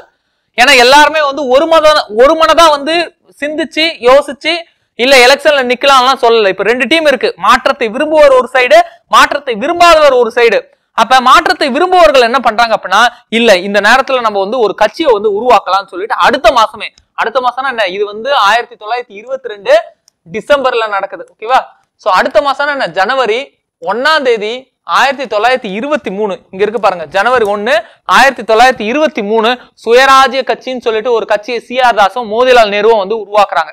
இந்த சுயராஜ்ய கட்சின்றத ஆயிரத்தி தொள்ளாயிரத்தி இருபத்தி மூணுல உருவாக்கி அந்த எலெக்ஷன்ல பார்ட்டிசிபேட் பண்றாங்க அந்த எலெக்ஷன்ல ஜெயிக்கவும் செய்யறாங்க ஓகேங்களா ஜெயிக்கவும் செய்யறாங்க. இந்த சுயராஜ்ய கட்சி ரொம்ப வருஷம்லாம் வந்து இல்ல. ஆயிரத்தி தொள்ளாயிரத்தி இருபத்தி அஞ்சுலயே சிஆர் தாஸுடைய மறைவுக்கு அப்புறமா இந்த சுயராஜ்ய கட்சி செயலிருந்து போயிடும் ஓகேவா ஆனா இவங்க ஜெயிச்சதுக்கு அப்புறமா என்ன பண்றாங்க அப்படின்னா ஆங்கிலேயர்களுக்கு பிரிட்டிஷ்காரனுக்கு தொடர்ந்து வந்து தொல்லை கொடுத்துட்டே இருக்காங்க. காந்தியை வந்து ரிலீஸ் பண்ணி ஆகணும். அதிகப்படியான பிரஷர் பயங்கரமா வந்து ப்ரெஷர் கொடுத்துட்டே இருக்காங்க. அப்ப ஒரு கட்டத்துல வந்து என்ன ஆகுது அப்படின்னா இந்தியா இந்தியாவில் ஒரு சில இடங்கள்ல வந்து ஹிந்து முஸ்லீம்களுக்கு இடையில ஒரு சின்ன பிரச்சனைகள்லாம் வருது. அப்ப காந்தி வந்து எதுக்காக பாடுபட்டாரோ அதுவே வந்து அச்சீவ் ஆகல. ஹிந்து முஸ்லீம்களுக்கு இடையில மறுபடியும் பிரிவினையான்னு சொல்லிட்டு சிறையில வந்து உண்ணாவிரதம் இருக்கிறான்னு சொல்லி ஸ்டார்ட் பண்றாரு. அதே நேரத்துல இங்க பாத்தீங்க அப்படின்னா சிஆர் தாஸும் மோதிலால் நேருவும் வந்து ஆட்சி அதிகாரத்துக்கு வந்து ஆங்கிலேயர்களுக்கு தொடர்ந்து வந்து தொல்லை கொடுத்துட்டே இருக்காங்க. தொடர்ந்து அதிகப்படியான அழுத்தத்தை வந்து கொடுக்குறாங்க. சரி எதுக்குடா வம்புன்னு சொல்லிட்டு ஆயிரத்தி தொள்ளாயிரத்தி இருபத்தி நாலுல வந்து காந்தியை வந்து ரிலீஸ் பண்றாங்க. காந்தி அடிகளுக்கு அவர்களுக்கு ஆறு வருட ஜெயிலுன்னு வந்து ஸ்டார்டிங் சொல்லியிருப்பாங்க. பட் ரெண்டே வருஷத்துல வந்து ரிலீஸ் பண்ணியிருப்பாங்க. ஓகே நமக்காக ஒரு தலைவன் ஹிந்து முஸ்லிம் அத்தனை மக்களையும் ஒன்று சேர்த்து ஆயிரத்தி தொள்ளாயிரத்தி இருபது ஆகஸ்ட் ஒன்னாம் தேதி கிளாஃபத் இயக்கம் ஒத்துழையாமை இயக்கம் அத்தனையும் ஒன்று சேர்த்து ஒரு மிகப்பெரிய போராட்டத்தை நடத்தி ஜெயிலுக்கெல்லாம் போயிட்டு வந்திருக்காரு இல்லையா? அதனால ஆயிரத்தி தொள்ளாயிரத்தி இருபத்தி நாலு டிசம்பர் மாசம் நடக்கக்கூடிய காங்கிரஸ் மாநாடு ஐஎன்சி பெல்காம் பெல்காம்ன்ற பகுதியில் நடக்கும். அந்த பெல்காம் மாநாட்டுல தலைவரா காந்தியை ஏத்துக்கிறாங்க. காந்தியை ஏத்துக்கிறாங்க. காந்தி காந்தி இந்திய தேசிய காங்கிரஸுக்கு தலைவரா இருக்கக்கூடிய ஒரே வருடம் பாத்தீங்கன்னா இந்த ஆயிரத்தி தொள்ளாயிரத்தி இருபத்தி நாலு டிசம்பர்ல ஆரம்பிச்சு ஆயிரத்தி தொள்ளாயிரத்தி இருபத்தஞ்சு டிசம்பர் தான். இது ஒரு வழக்கம் இது ஒரு மரபு. போராடின தலைவருக்கு ஒரு கௌரவத்தை வந்து கொடுக்குறாங்க. இதுக்கு முன்னாடி யாருக்கா கௌரவத்தை கொடுத்துருக்காங்களா? எஸ் கொடுத்துருக்காங்களே. ஆயிரத்தி தொள்ளாயிரத்தி பதினேழுல என்ன பண்ணிருப்பாங்க அப்படின்னா ஆகஸ்ட் டிக்ளரேஷன் கொடுத்தாங்க இல்லையா? ஆகஸ்ட் ஆகஸ்ட் டிக்ளரேஷனை பிரிட்டிஷ்கார வந்து கொடுத்துருப்பான். அது மட்டும் இல்லாம ஆயிரத்தி தொள்ளாயிரத்தி பதினாறுலயே மிதவாதிகள் தீவிரவாதிகள் இஸ்லாமியர்கள் எல்லாரையும் வந்து ஒருங்கிணைச்சாங்க. யாரு? அன்னி பெசன்ட் அம்மையார். அப்ப அன்னி பெசன்ட் அம்மையாரை வந்து தலைவரா வந்து ஏத்துக்கிறாங்க. ஓகேங்களா? அன்னி பேசன்ட் அன்னி பேசன்ட் தான் ஆயிரத்தி தொள்ளாயிரத்தி பதினேழுல நடந்த காங்கிரஸ் மாநாட்டுல தலைவரா இருந்திருப்பாங்க. அன்னி பேசன்ட் இப்ப இந்தியாவினுடைய ஐஎன்சி காங்கிரஸ் மாநாட்டுடைய முதல் பெண் தலைவர்னு கேட்டாங்கன்னா அன்னி பேசன்ட் வந்து கொடுக்கணும். ஓகேங்களா? இப்ப இதே போல இன்னொரு இன்சிடென்ட் இருக்குன்னு கேட்டீங்கன்னா ஆயிரத்தி தொள்ளாயிரத்தி இருபத்தி அஞ்சு. இதுக்கு அடுத்த வருஷம். ஆயிரத்தி தொள்ளாயிரத்தி இருபத்தி நாலுக்கு அப்புறமா ஆயிரத்தி தொள்ளாயிரத்தி இருபத்தஞ்சு இந்த வருஷத்துல ஒரு காங்கிரஸ் மாநாடு நடக்குது. இந்த மாநாட்டுல சரோஜினி அம்மையார் சரோஜினி நாயுடு வந்து என்ன பண்றாங்க அப்படின்னா தலைவியா ஏத்துக்கிறாங்க. சரோஜினி. அப்ப சரோஜினி நாயுடு வந்து யார் அப்படின்னா ஒரு இந்தியன். ஓகேங்களா? ஒரு இந்திய பெண்மணி. அப்ப முதல் இந்திய பெண் தலைவி அப்படின்னு கேட்டாங்கன்னா சரோஜினி நாயுடு. முதல் பெண் தலைவின்னு கேட்டாங்க அப்படின்னா அன்னி பேசன் அம்மையார் ஓகேங்களா? சோ இதே போல இன்னொரு இன்சிடென்ட் இருக்கான்னு கேட்டீங்கன்னா சிறப்பு மாநாடுகள். சிறப்பு மாநாடுகளை பத்தி பார்க்கணும். அப்ப சிறப்பு மாநாடுனா என்ன? வருஷத்துக்கு ஒரு வாட்டி தான் காங்கிரஸ் மாநாடே நடக்கும். ஆனா ஆயிரத்தி தொள்ளாயிரத்தி இருபதுல மட்டும் ஒரு பதற்றமான சூழல் நிலவரத்தினால அப்ப ரெண்டு காங்கிரஸ் மாநாடு நடக்கும். ஓகேங்களா? சிறப்பு மாநாடுகள் ஒரு வாட்டி தான் நடந்ததா கேட்டா இல்லை. நிறைய வாட்டி நடந்திருக்கு. ஆயிரத்தி தொள்ளாயிரத்தி இருபதுல வந்து என்ன பண்றாங்க அப்படின்னா முன்கூட்டியே டிசம்பர்ல நடக்கக்கூடிய மாநாடை ஒரு மூணு மாசத்துக்கு முன்னாடியே வந்து நடத்துறாங்க. ஓகேங்களா? அப்ப அந்த சிறப்பு மாநாடு ஆயிரத்தி தொள்ளாயிரத்தி இருபது சிறப்பு மாநாட்டுல தலைவரா யாரை ஏத்துக்கிறாங்க அப்படின்னா தன்னாட்சி இயக்கத்தை அமெரிக்காவுல போய் நடத்தி சக்சஸ்ஃபுல்லா முடிச்சு இந்தியாவுக்கு வந்து இருக்கக்கூடிய பஞ்சாப் சிங்கம் லாலா லஜபதி ராய் தான் அந்த சிறப்பு மாநாட்டுக்கு தலைவரா இருக்காரு. லாலா லஜபதி ராய். கேட்பாங்க கொஸ்டின் கேட்பாங்க ஆயிரத்தி தொள்ளாயிரத்தி இருபதுல சிறப்பு மாநாட்டுக்கு தலைவராக இருந்தது யாரு? லாலா லஜபதி ராய். சிறப்பு மாநாடு. அப்ப அந்த வருஷம் டிசம்பர்ல ஒரு மாநாடு நடந்திருக்கும் இல்லையா? ஆயிரத்தி தொள்ளாயிரத்தி இருபது டிசம்பர்ல. அப்ப டிசம்பர்ல நடந்த மாநாட்டுக்கு யார் வந்து தலைவரா இருப்பாங்க அப்படின்னா விஜய ராகவாச்சாரி சென்னை. ஓகேங்களா? சென்னையை சார்ந்த விஜய ராகவாச்சாரி தமிழகத்தை சார்ந்த விஜய ராகவாச்சாரி ஓகேங்களா? சென்னைன்னு சொல்லக்கூடாது சென்னை மாகாணம் சொல்லணும். ஓகேவா விஜய ராகவாச்சாரி அப்ப புரியுதுங்களா? அப்ப சிறப்பு மாநாடுன்ற ஒரு கான்செப்ட் சிறப்பு மாநாடுனா என்னன்னா அந்த வருஷத்துல ரெண்டு மாநாடு நடக்கும். இதை தவிர்த்து ஒவ்வொரு மாநாட்டிலையும் தலைவரா யார தேர்ந்தெடுக்கிறாங்களோ அந்த தலைவர் அதுக்கு முந்தின காலங்கள்ல ஒரு சிறப்பான செயலை வந்து ஆற்றியிருப்பாரு. இப்ப குரோனாலஜிக்கல் ஆர்டர்ல நம்ம பார்க்கும் பொழுது ஆயிரத்தி தொள்ளாயிரத்தி இருபத்தஞ்சுல இன்னொரு நிகழ்வும் நடக்கும். ஓகேங்களா இன்னொரு நிகழ்வு என்ன அப்படின்னா இந்திய கம்யூனிஸ்ட் கட்சி வந்து ஃபார்ம் ஆயிருக்கும். ஓகேங்களா இந்திய கம்யூனிஸ்ட் கட்சி. அப்ப இவங்களும் வந்து எப்ப ஆரம்பிக்கிறாங்க அப்படின்னா டிசம்பர் மாசம் தான் டிசம்பர் இருபத்தி ஆறாவது நாள் ஆயிரத்தி தொள்ளாயிரத்தி இருபத்தி அஞ்சுல கம்யூனிஸ்ட் கட்சி வந்து ஃபார்ம் ஆகுது. கான்பூர்ன்ற பகுதியில ஒரு மாநாட்டை நடத்தி கம்யூனிஸ்ட் கட்சியை ஃபார்ம் பண்றாங்க. M N Roy. கம்யூனிஸ்டுகளின் முன்னோடி யாரு? M N Rai. அவர் தான் வந்து என்ன? இந்தியாவுக்குன்னு ஒரு அரசியல் அமைப்பு உருவாக்கணும்னு ஃபர்ஸ்ட் ஃபர்ஸ்ட் குரல் கொடுத்தவர். அப்ப பாக்குறோம் ஆயிரத்தி தொள்ளாயிரத்தி இருபதுல என்ன? ஒத்துழையாமை இயக்கம். ஆயிரத்தி தொள்ளாயிரத்தி இருபத்தி ரெண்டுல என்ன? சௌரி சௌரா சம்பவம். ஆயிரத்தி தொள்ளாயிரத்தி இருபத்தி மூணுல என்ன? சுயராஜ்ய கட்சி. ஆயிரத்தி தொள்ளாயிரத்தி இருபத்தஞ்சில் என்ன பண்ணிருப்பாங்க? சுயராஜ்ய கட்சி கேன்சல் பண்ணிருப்பாங்க. ஆயிரத்தி தொள்ளாயிரத்தி இருபத்தஞ்சில் என்ன பண்ணிருப்பாங்க? சரோஜினி நாயுடு முதல் இந்திய பெண் தலைவரை வந்து ஐஎன்சி காங்கிரஸ் மாநாட்டில் வந்து கலந்திருப்பாங்க. காந்தி வெளியே வந்ததுக்கு அப்புறமா ஆயிரத்தி தொள்ளாயிரத்தி இருபத்தி நாலுல பெல்கா மாநாட்டில் வந்து பார்ட்டிசிபேட் பண்ணிருப்பாரு. ஆயிரத்தி தொள்ளாயிரத்தி இருபத்தஞ்சுல ஒரு கட்சி வந்து ஃபார்ம் ஆகுது. அந்த கட்சி தான் வந்து என்ன? இந்திய கம்யூனிஸ்ட் கட்சி. இத்தனை நிகழ்வும் நடக்குது. ஆயிரத்தி தொள்ளாயிரத்தி இருபதுல ஆரம்பிச்சு இருபத்தஞ்சு. இந்த காலகட்டத்துக்குள்ள இத்தனை நிகழ்வும் நடக்குது. ஓகேங்களா? இதெல்லாம் நடந்துட்டே இருக்கு. அதே டைம்ல ஆயிரத்தி தொள்ளாயிரத்தி இருபத்தி ஏழு ஒரு ஒரு வருஷம் கழிச்சு இன்னொரு தகவல் வந்து நமக்கு கிடைக்குது. என்னன்னா சைமன் கமிஷன் சைமன் குழு. மாண்டகி செம்ஸ்போர்ட் ரிஃபார்ம் சொல்லிட்டு ஆயிரத்தி தொள்ளாயிரத்தி பத்தொன்பதுல ஒரு சட்டம் வந்தது இல்லையா? Indian council act nineteen nineteen. Montagu Chelmsford கொண்டுட்டு வந்த சட்டம். மாண்டேகி செம்ஸ்போர்ட் கொண்டு வந்த சட்டம். இந்த சட்டத்துல என்ன சொல்லியிருப்பாங்க அப்படின்னா இந்த சட்டம் ஒரு பத்து வருஷம் தான் செல்லும். ஆயிரத்தி தொள்ளாயிரத்தி இருபத்தி ஒன்பது வரையும் தான் இந்த சட்டம் செல்லும். இந்த பத்து வருஷம் கழிச்சு நான் ஒரு டீம் அனுப்புவேன் ஓகேவா ஒரு டீம் அனுப்புவேன். யார் சொல்றாங்க? பிரிட்டிஷ் பார்லிமெண்ட் சொல்றாங்க. அந்த டீம் என்ன பண்ணும் அப்படின்னா இந்தியா ஃபுல்லா சுத்தம். இந்தியா ஃபுல்லா சுத்தம். அந்த டீம் என்ன பண்ணும் அப்படின்னா இந்தியா ஃபுல்லா சுத்தி நான் கொண்டுட்டு வந்திருக்கக்கூடிய இரட்டை ஆட்சி எந்த அளவு இம்ப்ளிமெண்ட் ஆயிருக்கு? மக்களுக்கு ஏதாவது ஒரு தாக்கத்தை உருவாக்கி இருக்கா இல்லையா? மக்களுக்கு நல்லது செஞ்சிருக்கா இல்லையா? அதை வந்து கண்டுபிடிச்சு சொல்லும் அப்படின்னு சொன்னாங்க. ஆனா பத்து வருஷம் ஆகல. ஒரு ரெண்டு மூணு வருஷத்துக்கு முன்னாடி அதாவது ஆயிரத்தி தொள்ளாயிரத்தி இருபத்தி ஒன்பதுக்கு பதிலாக ஆயிரத்தி தொள்ளாயிரத்தி இருபத்தி ஏழுலயே அந்த டீமை ஃபார்ம் பண்றாங்க. ஆயிரத்தி தொள்ளாயிரத்தி இருபத்தி ஏழு நவம்பர் எட்டாம் நாள் அந்த டீமை ஃபார்ம் பண்றாங்க. எங்க? பிரிட்டிஷ்ல ஃபார்ம் பண்ணி வச்சாச்சு. இந்த தகவல் எங்க வருது? இந்தியர்களுக்கு வந்து வருது. ஓகேங்களா? இந்தியர்களுக்கு ஒரு கோவம் வருது. காந்தி உட்பட அத்தனை தலைவர்களுக்கும் ஒரு கோவம் வருது. ஏன் அந்த கோவம்? இந்த டீம்ல மொத்தம் ஏழு பேர் இருக்காங்கப்பா. ஏழு பேர் இருக்காங்க. இந்த டீமுக்கு ஹெட்னு ஒரு ஆள் இருப்பார்ல தலைவர்னு ஒரு ஆள் இருப்பார்ல அவர் பேர் சைமன். அவர் பேர் சைமன். அந்த மீதி ஆறு பேர் இருக்காங்களே அந்த ஆறு பேர் பிளஸ் தலைவன் உட்பட மொத்தம் ஏழு பேர் இருக்காங்களே இந்த ஏழு பேர்ல ஒரு ஆள் கூட இந்தியர்கள் இல்லை. அப்ப இந்தியாவுக்குன்னு ஒரு சட்டத்தை ஆயிரத்தி தொள்ளாயிரத்தி பத்தொன்பதுல போட்டீங்க.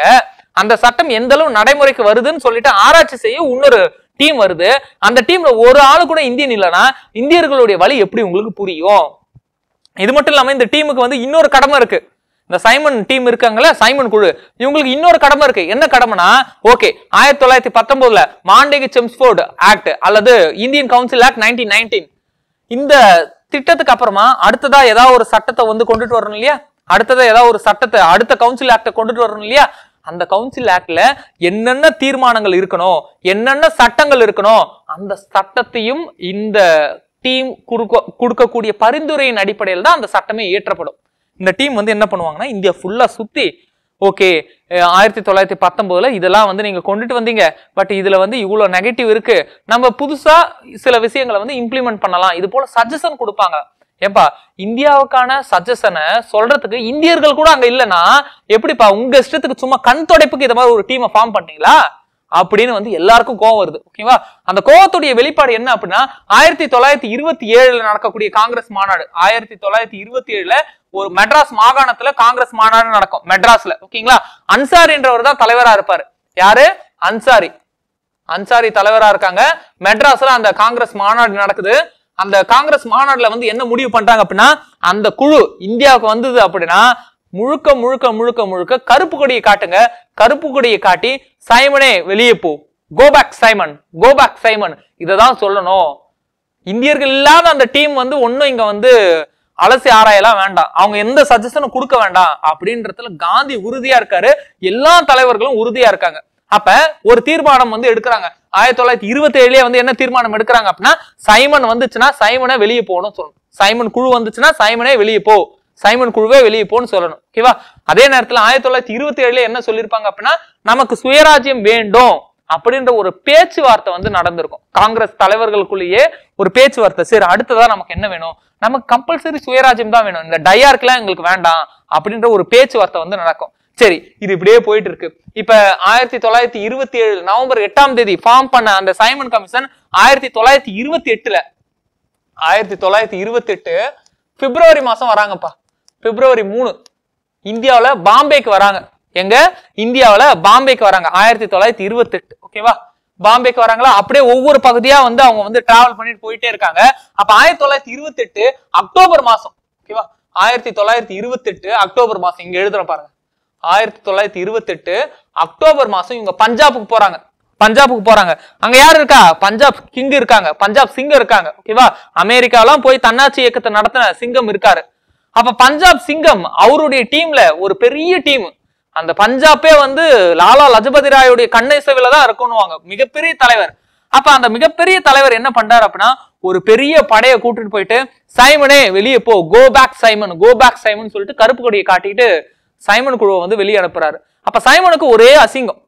என்ன நம்மால வந்து ஒரு ஒரு ஆராய்ச்சி கூட பண்ண முடியலையே அப்படின்ற மாதிரி ஒரே ஒரு வேதனை. அப்ப சைமன் வந்து என்ன பண்ணிருப்பாரு அப்படின்னா அங்க இருக்கக்கூடிய ஆளுநர் கிட்ட வந்து கேட்டிருப்பாரு. உடனே வந்து போலீஸை வச்சு தடியடி நடத்துவாங்க. ஓகேவா? போலீஸை வச்சு தடியடி நடத்துவாங்க. அந்த தடியடியில பஞ்சாப் சிங்கம் லாலா லஜபதி ராய்க்கு பலத்த காயம் வந்து ஏற்படுது. ஓகேங்களா? பலத்த காயம் ஏற்படுது. அந்த காயம் காரணமாக ஒரே மாசம் தான் நவம்பர் மாசம். அக்டோபர்ல வந்து இந்த சம்பவம் நடக்குது. நவம்பர் மாசம் பதினேழாம் தேதி பஞ்சாப் சிங்கம் லாலா லஜபதி ராய் மண்ணை விட்டு மறைந்தார். அந்த அளவு வந்து அடிச்சிருப்பாங்க. ஓகேவா? ஸோ பஞ்சாப்ல யாருங்க இருக்காங்க? நம்மளுடைய பகத்சிங் இருக்காங்க. பகத்சிங் இருப்பாங்க. பிற்காலத்துல பிற்காலத்துல இந்த சம்பவத்துக்கு பழி வாங்குறதுக்காக ஒரு துப்பாக்கி சூடும் வந்து நடந்திருக்கும். ஓகேங்களா? அதெல்லாம் வந்து என்ன தீவிரவாதிகள்ல நம்ம பார்ப்போம். அப்ப பாருங்க. சைமனை வெளியே போ சைமனை வெளியே போன ஒரு மிகப்பெரிய போராட்டம். இந்த போராட்டத்துல நம்ம வந்து எந்த மிகப்பெரிய தலைவரை இழந்தோம் அப்படின்னா நம்முடைய பஞ்சாப் சிங்கம் லாலா லஜபதி ராயை வந்து இழந்தோம். ஓகேங்களா? அதுக்கு காரணமான போலீஸ் அதிகாரி யார் அப்படின்னா டிஎஸ்பி சாண்டசன் ஓகேங்களா? டிஎஸ்பி சாண்டசன் அவர் தான் வந்து இந்த தடியடிக்கு ரொம்ப காரணமா இருந்தது டிஎஸ்பி சாண்டசன் தான். ஓகே. அப்ப ஆயிரத்தி தொள்ளாயிரத்தி இருபத்தெட்டில் இதே போல நடக்குது. இப்ப இதே காலகட்டத்துல வந்து என்ன சொல்றாங்க அப்படின்னா லார்ட் பிரிக்னட் அதாவது இந்தியாவில் அப்ப இருக்கக்கூடிய வைஸ்ராய் வந்து என்ன சொல்றாருன்னா எப்ப பார்த்தாலும் இந்த ஏழு பேர் இருக்கக்கூடிய டீம் போற இடத்துக்கு எல்லாத்துலயுமே கோபேக் சைமன் கோபேக் சைமன் இந்தியர்கள் சொல்றீங்க. உங்களுக்கு என்ன தேவைன்னு உங்களுக்கே தெரியாதுப்பா. இந்தியர்களுக்கு இந்தியர்களுக்கு என்ன வேண்டும்னு அவங்களுக்கே தெரியாதாம் இன்னொரு ஸ்டேட்மெண்ட் சொல்றாரு. அனைத்து இந்தியர்களும் அனைத்து இந்தியர்களும் ஏற்றுக்கொள்ளக்கூடிய சட்டத்தை வகுக்கக்கூடிய அறிவு இந்தியர்களிடத்தில் இல்லை. அனைத்து இந்தியர்கள்லாம் என்ன சொல்றாரு அப்படின்னா இங்க இந்துஸ் இருக்காங்க இஸ்லாம் இருக்காங்க எல்லாருமே இருக்காங்க. உங்களுக்கு தேவையான எல்லா இந்தியர்களுக்கும் தேவையான சட்டத்தை யோசிக்கக்கூடிய நாலேஜ் இங்க இருக்கக்கூடிய எந்த இந்தியர்களுக்கும் இல்லை. உங்களால உருவாக்க முடியுமா? அது போல ஒரு சேலஞ்ச் வந்து விடுறாரு ஓகேவா அது போல ஒரு சேலஞ்ச் விடுறாரு. அந்த சேலஞ்சுடைய வெளிப்பாடு தான் வெளிப்பாடு தான் நேரு அறிக்கை. அந்த சேலஞ்சோடைய வெளிப்பாடு தான் வந்து என்ன?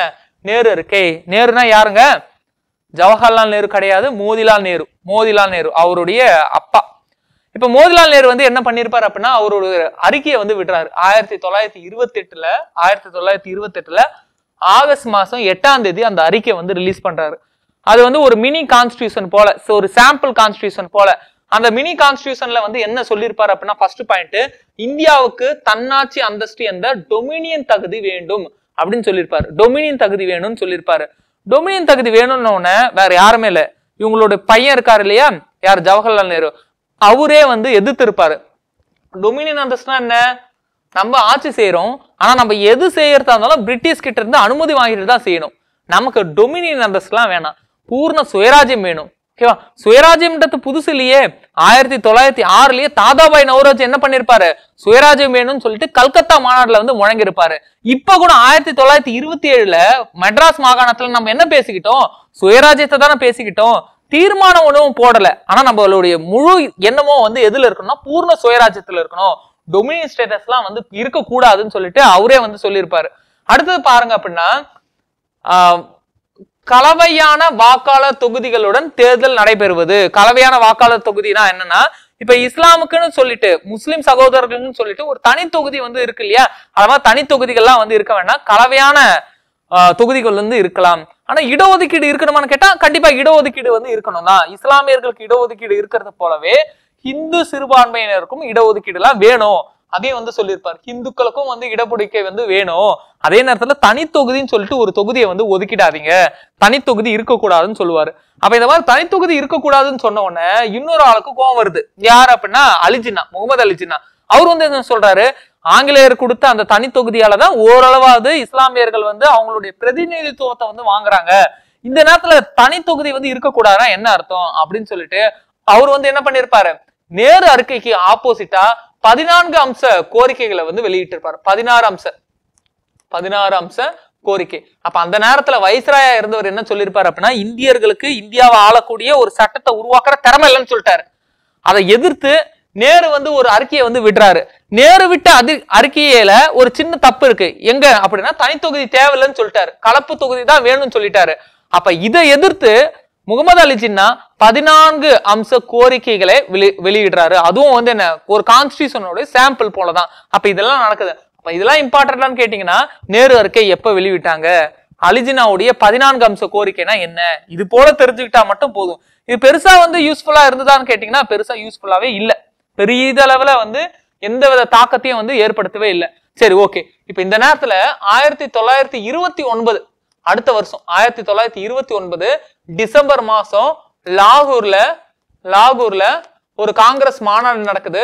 இந்த மாநாட்டுக்கு யார் தலைவரா இருக்காங்க அப்படின்னா ஜவஹர்லால் நேரு. இவர் தான் வந்து என்ன? மோதிலால் நேருடைய பையன். இவர் தலைவரா இருந்து என்ன தெரியுமா சொல்றாரு?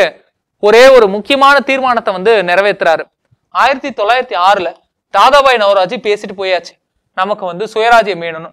ஆயிரத்தி தொள்ளாயிரத்தி இருபத்தி ஏழுல அன்சாரியுடைய தலைமையில நடந்த காங்கிரஸ் மாநாட்டிலையும் சுயராஜ்யத்தை பத்தி விவாதிச்சோம். தீர்மானம் எல்லாம் போடவே இல்லை. ஓகேவா? இப்ப இந்த நேரத்துல ஆயிரத்தி தொள்ளாயிரத்தி இருபத்தி எட்டுல நேரு அறிக்கையிலேயே வந்து என்ன சொல்றீங்க அப்படின்னா சுயராஜ்யம் வேணும்னு சொல்லிட்டு டொமினியன் பத்தி பேசுறீங்க. டொமினியன். அப்ப நமக்கு டொமினியன் அந்தஸ்தெல்லாம் வேணாம். நமக்கு தேவை பூர்ண சுவராஜ். அப்ப என்ன சொல்றாங்கன்னா ஆயிரத்தி தொள்ளாயிரத்தி இருபத்தி ஒன்பது டிசம்பர் முப்பத்தி ஒன்னாம் தேதி நடக்கக்கூடிய காங்கிரஸ் மாநாட்டுல என்ன முடிவு எடுக்கிறாங்க அப்படின்னா நமக்கு பூர்ண சுயராஜ்யம் வேண்டும். என்னது? பூர்ண சுயராஜ். பூர்ண சுயராஜ்யம். அப்ப முடிவு எடுக்கிறாங்க. பூர்ண சுயராஜ்யம்னா கம்ப்ளீட் இண்டிபெண்டன்ஸ் கம்ப்ளீட் இண்டிபெண்டன்ஸ் இப்ப ரெண்டாவதா வந்து என்ன முடிவு எடுக்கிறாங்க அப்படின்னா ராவி நதிக்கரை ஓரம். இந்த ராவி நதிக்கரை ஓரத்துல என்ன பண்றாங்க அப்படின்னா ட்ரை கலர் மூவண்ண கொடியை வந்து ஏத்துறாரு. யாரு? ஜவஹர்லால் நேரு. ஓகேவா மூவர்ண கொடியை வந்து ஏத்துறாங்க. மூவர்ண கொடியை வந்து ஏத்துறாங்க. சரி ஓகே இப்போ காந்தி எல்லாருமே வந்து வெளியே வந்தாச்சு. எல்லா தலைவர்களும் வந்து ரெடியா இருக்காங்க. ஆனா இவங்க பாத்தீங்கன்னா நமக்கே வந்து ஒத்து வராத நிறைய சட்டங்களை வந்து கொண்டுட்டு வராங்க. சைமன் குழுவுல ஒரு ஆள் கூட வந்து இந்தியர்கள் இல்ல. நம்மளுடைய பஞ்சாப் கிங்கு லாலா லஜபதி ராய் வந்து இறந்துட்டாங்க. இது இப்படியே போச்சுன்னா வந்து நம்ம வந்து ஒண்ணுமே இல்லாம போயிடும். அதனால அடுத்த கட்டத்துக்கு போகலாம். அடுத்த கட்ட போராட்டத்துக்கு போகலாம்னு சொல்லிட்டு இன்னொரு முடிவும் எடுக்கிறாங்க. அந்த முடிவு தான் சட்ட மறுப்பு இயக்கம். ஓகேங்களா? சட்ட மறுப்பு சிவில் டிசோபிடியன்ட் இயக்கம்னு சொல்லுவோம். ஓகேங்களா? சட்ட மறுப்பு இயக்கம்.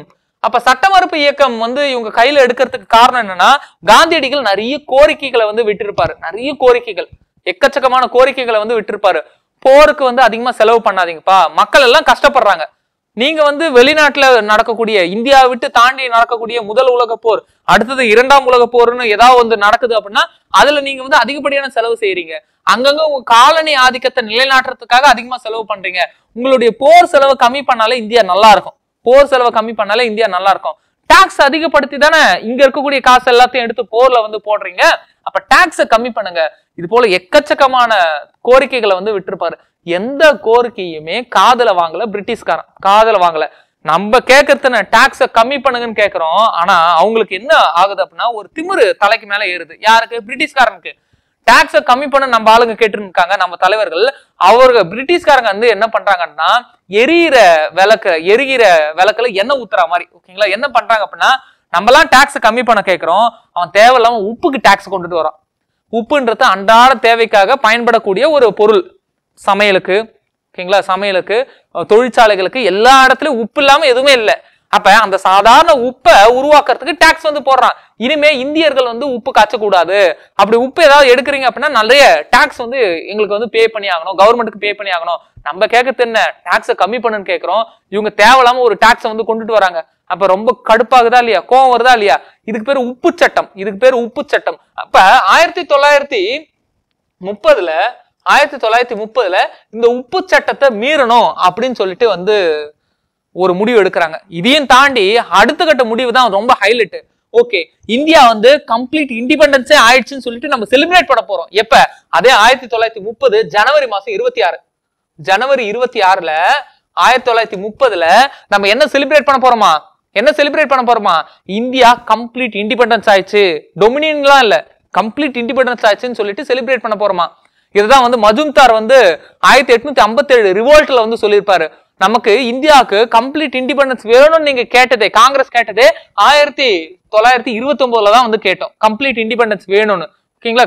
பூர்ண சுயராஜ் வேணும்னு சொல்லிட்டு ராவி நதிக்கரை ஓரத்துல கொடியை ஏத்திட்டு ஆயிரத்தி தொள்ளாயிரத்தி முப்பது ஜனவரி இருபத்தி ஆறா தான் வந்து சுதந்திர நாளா வந்து எல்லாரும் வந்து செலிப்ரேட் பண்ணீங்க. அப்படி இருக்கும் பொழுது ஆயிரத்தி எட்நூத்தி ஐம்பத்தி ஏழு எப்படி சுதந்திர போருன்னு நீங்க சொல்லுவீங்க அப்படின்னு சொல்லிட்டு ஒரு கோட் வந்து சொல்லியிருப்பாரு. ஓகேங்களா? அதை நம்ம ஆயிரத்தி எட்நூத்தி ஐம்பத்தி ஏழு ரிவோல்ட் இருக்கும்போது பார்த்திருப்போம். இப்ப பாருங்களா புரியுதுங்களா? அந்த கனெக்டிவிட்டி புரியுதா? அப்ப ஆயிரத்தி தொள்ளாயிரத்தி முப்பது ஜனவரி இருபத்தி ஆறு சுதந்திர நாளா வந்து அறிவிக்கிறாங்க. பூரண சுயராஜ டேவா வந்து அறிவிக்கிறாங்க. இதுதான் பிற்காலத்துல நினைவு கூறக்கூடிய வகையில நினைவு கூறக்கூடிய வகையில ஆயிரத்தி தொள்ளாயிரத்தி நாற்பத்தி ஒன்பது நவம்பர் இருபத்தி ஆறுலயே எல்லா சட்ட திட்டங்களையும் நம்ம இந்தியா வந்து ரெடி பண்ணி வச்சாச்சு. கான்ஸ்டியூஷன் அசம்பிளி மூலயமா பட் இருந்தாலும் அனைத்து சட்டங்களும் எப்ப ஏத்துக்கிட்டாங்க அப்படின்னா ஆயிரத்தி தொள்ளாயிரத்தி ஐம்பது ஜனவரி இருபத்தி ஆறுல தான் ஏத்துக்கிட்டாங்க. அதுக்கு காரணம் என்ன தெரியுங்களா? இந்த ஜனவரி இருபத்தி ஆறை ஞாபகம் வச்சுக்கணுன்றதுக்காக தான். இந்த ஜனவரி இருபத்தி ஆற ஞாபகம் வச்சுக்கணுன்றதுக்காக தான். புரியுதுங்களா? அப்ப ஆயிரத்தி தொள்ளாயிரத்தி இருபத்தி ஒன்பது டிசம்பர்ல நடக்கக்கூடிய இந்த காங்கிரஸ் மாநாடுன்றது ரொம்ப இன்றியமையாத ஒரு மாநாடு. ஓகேங்களா? ரொம்ப முக்கியமான ஒரு மாநாடு. இப்ப பாருங்க உப்பு சத்தியாகிரகம் அடுத்த ஒரு சாப்டர் உப்பு சத்தியாகிரகம் ஜனவரி ஜனவரி முப்பத்தி ஒன்று ஆயிரத்தி தொள்ளாயிரத்தி முப்பது. ஜனவரி முப்பத்தொன்னு ஆயிரத்தி தொள்ளாயிரத்தி முப்பது. இர்வின் பிரபு அப்ப யார் வைஸ்ராவா இருக்காங்க அப்படின்னா இர்வின் பிரபு தான் வந்து இருக்காங்க. அப்ப மனு வந்து கொடுக்குறாரு காந்தி. ராணுவ செலவை ஐம்பது பர்சன்டேஜ் கீழே குறைங்கப்பா. ஓகேங்களா? ராணுவ செலவை ஐம்பது பர்சன்டேஜ் கீழே வந்து குறைங்க. அனைத்து அரசியல் கைதிகளும் வந்து ரிலீஸ் பண்ணுங்க. அனைத்து அரசியல் கைதிகள்லாம் வந்து என்னன்னா அரசியல் சார்ந்து போராடி இருப்பாங்க இல்லையா? அவங்க எல்லாரையும் வந்து ரிலீஸ் பண்ணுங்க. விடுதலை சார்ந்து அகிம்சை வழியில போராடுற அத்தனை தலைவர்களையும் வந்து ரிலீஸ் பண்ணுங்க அப்படின்னு கேட்டிருப்பாரு. அது மட்டும் இல்லாம வரியை வந்து ஐம்பது சதவீதமா குறைச்சிருங்க நில வருவாய அதுக்கப்புறமா உப்பு வரியை வந்து ரத்து செய்யுங்க அப்படின்னு சொல்லியிருப்பாங்க. ஆனா ஆங்கிலேயர்கள் எதையுமே வந்து க- எதையுமே வந்து செவி கொடுத்து கேட்கல. எதையுமே வந்து செவி கொடுத்து கேட்கல. அதனால உப்பு சத்தியாகிரகம் வந்து ஸ்டார்ட் ஆகுது. எப்ப ஸ்டார்ட் ஆகுதுன்னு பாருங்க. மார்ச் மாசம் பன்னெண்டாம் தேதி ஆயிரத்தி தொள்ளாயிரத்தி முப்பதுல மொத்தம் 78 பேரோட சபர்மதி ஆசிரமத்துல இருந்து சபர்மதி ஆசிரமத்துல இருந்து தண்டி யாத்திரையை வந்து அவர் வந்து ஸ்டார்ட் பண்றாரு. தண்டி யாத்திரையை அவர் ஸ்டார்ட் பண்றாரு. ஓகேங்களா? அறுபத்தி ஓராவது வயசு. அப்ப காந்திக்கு வயசு வந்து என்ன? அறுபத்தோராவது வயசு. இருபத்தி நான்கு நாட்கள்ல இருநூத்தி நாற்பத்தோரு மைல் வந்து நடக்கிறாரு. இருநூத்தி நாற்பத்தோரு மைல இருபத்தி நாலு நாட்களா அறுபத்தி ஓராவது வயசுல நடந்து அந்த சத்தியாகிரகத்தை வந்து கம்ப்ளீட் பண்றாரு. கம்ப்ளீட் ஆகுமா? ஆகாது. அங்க போய் உப்பு காய்ச்சணும் இல்லையா? அப்ப உப்பு காய்ச்சறாரு. ஓகேங்களா? ஆயிரத்தி தொள்ளாயிரத்தி முப்பது ஏப்ரல் அஞ்சாம் நாள் மாலை தண்டி கடற்கரையை அடைந்தார். அன்னைக்கு ரா- ராத்திரி வந்து தண்டி கடற்கரையை அடையிறாரு அப்ப பாருங்களேன். மார்ச் பன்னெண்டுல ஆரம்பிச்சு ஏப்ரல் அஞ்சு வரையும் டிராவல் வந்து பண்ணியிருக்காரு. மொத்தமா இருபத்தி நாலு நாள் டிராவல் பண்ணியிருக்காரு. மறுநாள் ஏப்ரல் ஆறு ஏப்ரல் ஆறு உப்பை வந்து எடுக்கிறாரு. உப்பு காய்ச்சி உப்பு எடுக்கிறாரு. நான் உப்பு காய்ச்சிட்டேன் பாருங்க. உங்களுக்கு நாங்க வரி பே பண்ணாமலே வரி கட்டாமலே உப்பு காய்ச்சிட்டோம் பாருங்க. அப்படின்னு சொல்லிட்டு அதை காட்டுறாரு. இதுதான் வந்து சிவில் டிசோபிடியன்ட் அதாவது சட்ட மறுப்பு இயக்கம் சட்ட மறுப்பு சட்டத்தை வந்து அப்படியே மறுக்கிறாங்க. ஒத்துழையாமை இயக்கம்னா பிரிட்டிஷ்காரன் எது கொண்டுட்டு வந்தாலும் அதுக்கு வந்து ஒத்துழைப்பு கொடுக்க கூடாது சட்ட மறுப்புனா நீ என்ன சட்டம் கொண்டுட்டு வரியோ அந்த சட்டத்துக்கு அகேன்ஸ்டா நிப்ப. உப்பு காய்ச்ச கூடாது காய்ச்சனா வரி கட்டணும்னு சொல்றியா? நான் உப்பு காய்ச்சுவேன். வரிலாம் கட்ட முடியாது. வரிலாம் கட்ட முடியாது. இது எங்க பூர்வீக தொழில். இது அன்றாட வாழ்வு. அதனால நாங்க உப்பு காய்ச்சுவோம். அப்படின்னு சொல்லிட்டு அப்படியே கெத்தா வந்து எல்லாத்தையும் பண்ணி நிற்கிறாரு பிரிட்டிஷ்காரன் விடுவானா விடல. எல்லாரையும் அரெஸ்ட் பண்ணி உள்ள போட்டாச்சு. ஓகேங்களா? அப்ப ஆயிரத்தி தொள்ளாயிரத்தி முப்பதுல என்ன ஆகுது அப்படின்னா இந்த தண்டி யாத்திரைக்கு அப்புறமா எல்லாரையும் அரெஸ்ட் பண்ணி உள்ள போட்டாச்சு. வேதாரண்யத்துல ராஜாஜி வந்து உப்பு சத்தியாகிரகத்தை வந்து கொண்டுட்டு போயிருப்பாரு தமிழ்நாட்டுல இதே காலகட்டத்துல. அப்ப உப்பு சத்தியாகிரகத்துல ஈடுபட்ட அத்தனை பேரையுமே வந்து என்ன பண்றாங்க அப்படின்னா தண்டி யாத்திரையில ஈடுபட்ட அத்தனை பேரையுமே அரெஸ்ட் பண்ணி வந்து உள்ள போடுறாங்க. இதே காலகட்டத்துல ஆயிரத்தி தொள்ளாயிரத்தி முப்பது தானே? ஆயிரத்தி தொள்ளாயிரத்தி முப்பது. ஆயிரத்தி தொள்ளாயிரத்தி முப்பதுல சைமன் கமிஷன் ரிப்போர்ட்டை வந்து சப்மிட் பண்ணியாச்சு. ரிப்போர்ட்டை வந்து சப்மிட் பண்ணியாச்சு. எங்க? பிரிட்டிஷ் பார்லிமெண்ட்ல. அப்ப பிரிட்டிஷ் பார்லிமெண்ட்ல அந்த நேரத்துல தலைவரா இருக்கிறது யாரு அப்படின்னா ராம்சே மெக்டொனால்ட். லேபர் பார்ட்டியை சேர்ந்தவர். ஓகேங்களா? தொழிலாளர் கட்சி எப்பவுமே புரிஞ்சுக்கோங்க அங்க ரெண்டு கட்சி இருக்கும். ஓகேங்களா? ராம்சே மெக்டொனால்டோடைய லேபர் பார்ட்டி இருக்கும். அதுக்கப்புறமா கன்சர்வேட்டிவ் பார்ட்டி இருக்கும். பழமைவாத கட்சின்னு. இதுல லேபர் பார்ட்டி எப்பெல்லாம் ஆட்சிக்கு வராங்களோ அவங்க தனக்கு கீழே இருக்கக்கூடிய காலனி ஆதிக்கத்துக்கு கீழே இருக்கக்கூடிய அத்தனை நாடுகளுடைய நலத்திட்டங்கள்ல கொஞ்சமாவது கவனம் செலுத்துவாங்க. அப்ப ராம்சே மெக்டனால் என்ன சொல்றாரு அப்படின்னா சைமன் கமிஷன் வாங்கி பாக்குறாரு. சைமன் கமிஷனோட ரிப்போர்ட் வாங்கி பாக்குறாரு. அந்த ரிப்போர்ட்ல வந்து சில விஷயங்கள் வந்து சொல்லியிருப்பாங்க. சைமன் கமிஷனே வந்து சொல்லியிருப்பாங்க. என்னன்னா நம்ம ஆயிரத்தி தொள்ளாயிரத்தி பத்தொன்பதுல council act nineteen nineteen Montagu Chelmsford ஆக்ட்னு சொல்லிட்டு ஒரு ஆக்டை கொண்டுட்டு வந்தோம் இல்லையா? அந்த ஆக்ட் மூலியமா டயார்க்கை கொண்டுட்டு வந்தோம் இல்லையா? இந்த டயார்க்கு பல்வேறு விரும்பத்தகாத நிகழ்வுகளை தான் வந்து கொண்டுட்டு வந்திருக்கு. இந்த டயார்க்கு மக்களுக்கு வந்து முழுமையான நன்மைகளை வந்து கொண்டுட்டு போய் சேர்க்கல. மக்களுக்கு முழுமையான உரிமைகளை வந்து கொண்டுட்டு போய் சேர்க்கல. அரசியல் தலைவர்கள் எதிர்பார்த்தது வேற நம்ம கொடுத்தது வேற. நம்ம கொஞ்சம் இந்தியர்களை ஏமாத்திட்டோம் அப்படின்னு சொல்லிட்டு இந்தியர்களுக்கு சாதகமா தான் இந்தியர்களுக்கு சாதகமாக தான் சைமன் கமிஷன் தன்னுடைய ரிப்போர்ட்டை பிரிட்டிஷ் பார்லிமெண்ட்ல சப்மிட் பண்றாங்க. உடனே ராம்சே மெக்டனால்ட் என்ன பண்றாரு அப்படின்னா சரி ஓகே. எப்பவுமே நீங்க என்னப்பா பண்ணுவீங்க? இங்க இருக்கக்கூடிய செக்ரட்டரி ஆஃப் ஸ்டேட் அதாவது இங்க இருக்கக்கூடிய மாண்டேகா இருக்கட்டும் அங்க இருக்கக்கூடிய செம்ஸ்போர்டா இருக்கட்டும். செம்ஸ்போர்ட் யாரு? நம்மளுடைய இந்தியாவில் இருக்கக்கூடிய வைஸ்ராய். அப்ப மாண்டேகு செம்ஸ்போர்ட் மாண்டேகு செம்ஸ்போர்ட் ரெண்டு பேரும் ஒன்னா சேர்ந்து ரெண்டு டீமும் ஒன்னா சேர்ந்து தான் நான் வந்து சட்டத்தை எழுதுவேன் இந்த வாட்டி இது எல்லாத்தையும் வந்து நிப்பாட்டுங்க. இங்கே செக்ரட்டரி ஆஃப் ஸ்டேட்டோடைய டீமும் இருக்கட்டும். ஓகேங்களா செக்ரட்டரி ஆஃப் ஸ்டேட்டோடைய டீமும் இருக்கட்டும். வைஸ்ராயுடைய டீமும் இருக்கட்டும். நானும் இருக்கேன். இதை தாண்டி இந்தியாவில் இருக்கக்கூடிய அத்தனை தலைவர்களும் இங்கே வந்தாகணும். அத்தனை தலைவர்களும் இங்கே வந்தாகணும். அப்போ எல்லா தலைவர்களும் இருக்கட்டும் செக்ரட்டரி ஆஃப் ஸ்டேட் டீமும் இருக்கட்டும் வைஸ்ராயுடைய டீமும் இருக்கட்டும் நானும் இருக்கிறேன். எல்லாரும் சேர்ந்து விவாதிப்போம் இந்தியாவுக்கு எந்த சட்டம் ஏற்றக்கூடிய அதாவது எந்த சட்டம் வந்து ஒத்து வருமோ அந்த சட்டத்தை வந்து ஏற்றுவோம். அப்படின்னு சொல்றாரு. ஓகேங்களா? அப்ப அதுக்காக வந்து என்ன பண்றாங்க அப்படின்னா இங்கிலாந்துல ஒரு கான்பரன்ஸ் உருவாக்குறாங்க. அதுதான் வட்டமேசை மாநாடு. ரவுண்ட் டேபிள் கான்பரன்ஸ் சொல்லுவோம். என்னது? ரவுண்ட் டேபிள் கான்ஃபரன்ஸ் ஆயிரத்தி தொள்ளாயிரத்தி முப்பதுல வந்து முதல் வட்டமேசை மாநாடு நடக்குதுங்க. ஓகேங்களா? ஆயிரத்தி தொள்ளாயிரத்தி முப்பதுல நவம்பர் மாசம் லண்டன்ல ஃபர்ஸ்ட் வட்டமேசை மாநாடு நடக்குது. இது வந்து ராம்சே மெக்டனால்ட் அவருடைய தலைமையில அவர் தான் வந்து பிரிட்டிஷுடைய தலைவரா வந்து இருக்காரு. ஓகேங்களா? அவருடைய தலைமையில இந்த முதல் வட்டமேசை மாநாடு நடக்குது. இந்த முதல் வட்டமேசை மாநாடு சக்சஸ்ஃபுல்லா ஃபெயிலியர்னு கேட்டா கண்டிப்பா நூறு சதவீதம் ஃபெயிலியர் ஓகேவா ஃபெயிலியர் ஏன் அப்படின்னா காங்கிரஸ் சேர்ந்த யாருமே இந்த முதல் வட்டமேசை மாநாடுல கலந்துக்க முடியல. ஏன்? எல்லாரையுமே வந்து உப்பு சத்தியாகிரகத்துல அரெஸ்ட் பண்ணி உள்ள போட்டாச்சு. அப்ப எந்த தலைவரும் இல்ல. அப்ப ராம்சே மெக்டொனால்ட் வந்து என்ன பண்றாரு அப்படின்னா வைஸ்ராய்க்கு வந்து ஃபோன் பண்றாரு ஓகேவா அந்த நேரத்துல வைஸ்ராய் கிட்ட வந்து ஃபோன் பண்ணி இருவின் இருவின் அந்த நேரத்துல வைஸ்ராயா இருக்கிறவர் இருவின் அவருக்கு ஃபோன் பண்ணி ஏன் காங்கிரஸ் ஆளுங்க யாரும் கலந்துக்கல? உடனே சொல்றாங்க. அவங்க வந்து உப்பு சட்டத்தை வந்து மீறினாங்க. அதனால நாங்க அரெஸ்ட் பண்ணி உள்ள போட்டோம். சரி இப்ப இது முக்கியமான சட்டமாச்சே. அவங்க எல்லாரும் ரிலீஸ் பண்ணுங்க. அவங்க எல்லாரும் இங்க வந்து பார்ட்டிசிபேட் பண்ண சொல்லி கேளுங்க அப்படின்னு சொல்லியிருப்பாங்க. ஓகேங்களா? உடனே வந்து காந்தி கிட்ட போய் இருவின் வந்து பேச்சுவார்த்தை நடத்துவார். ஓகேவா காந்தி கிட்ட போய் இருவின் வந்து பேச்சுவார்த்தை நடத்துவார்.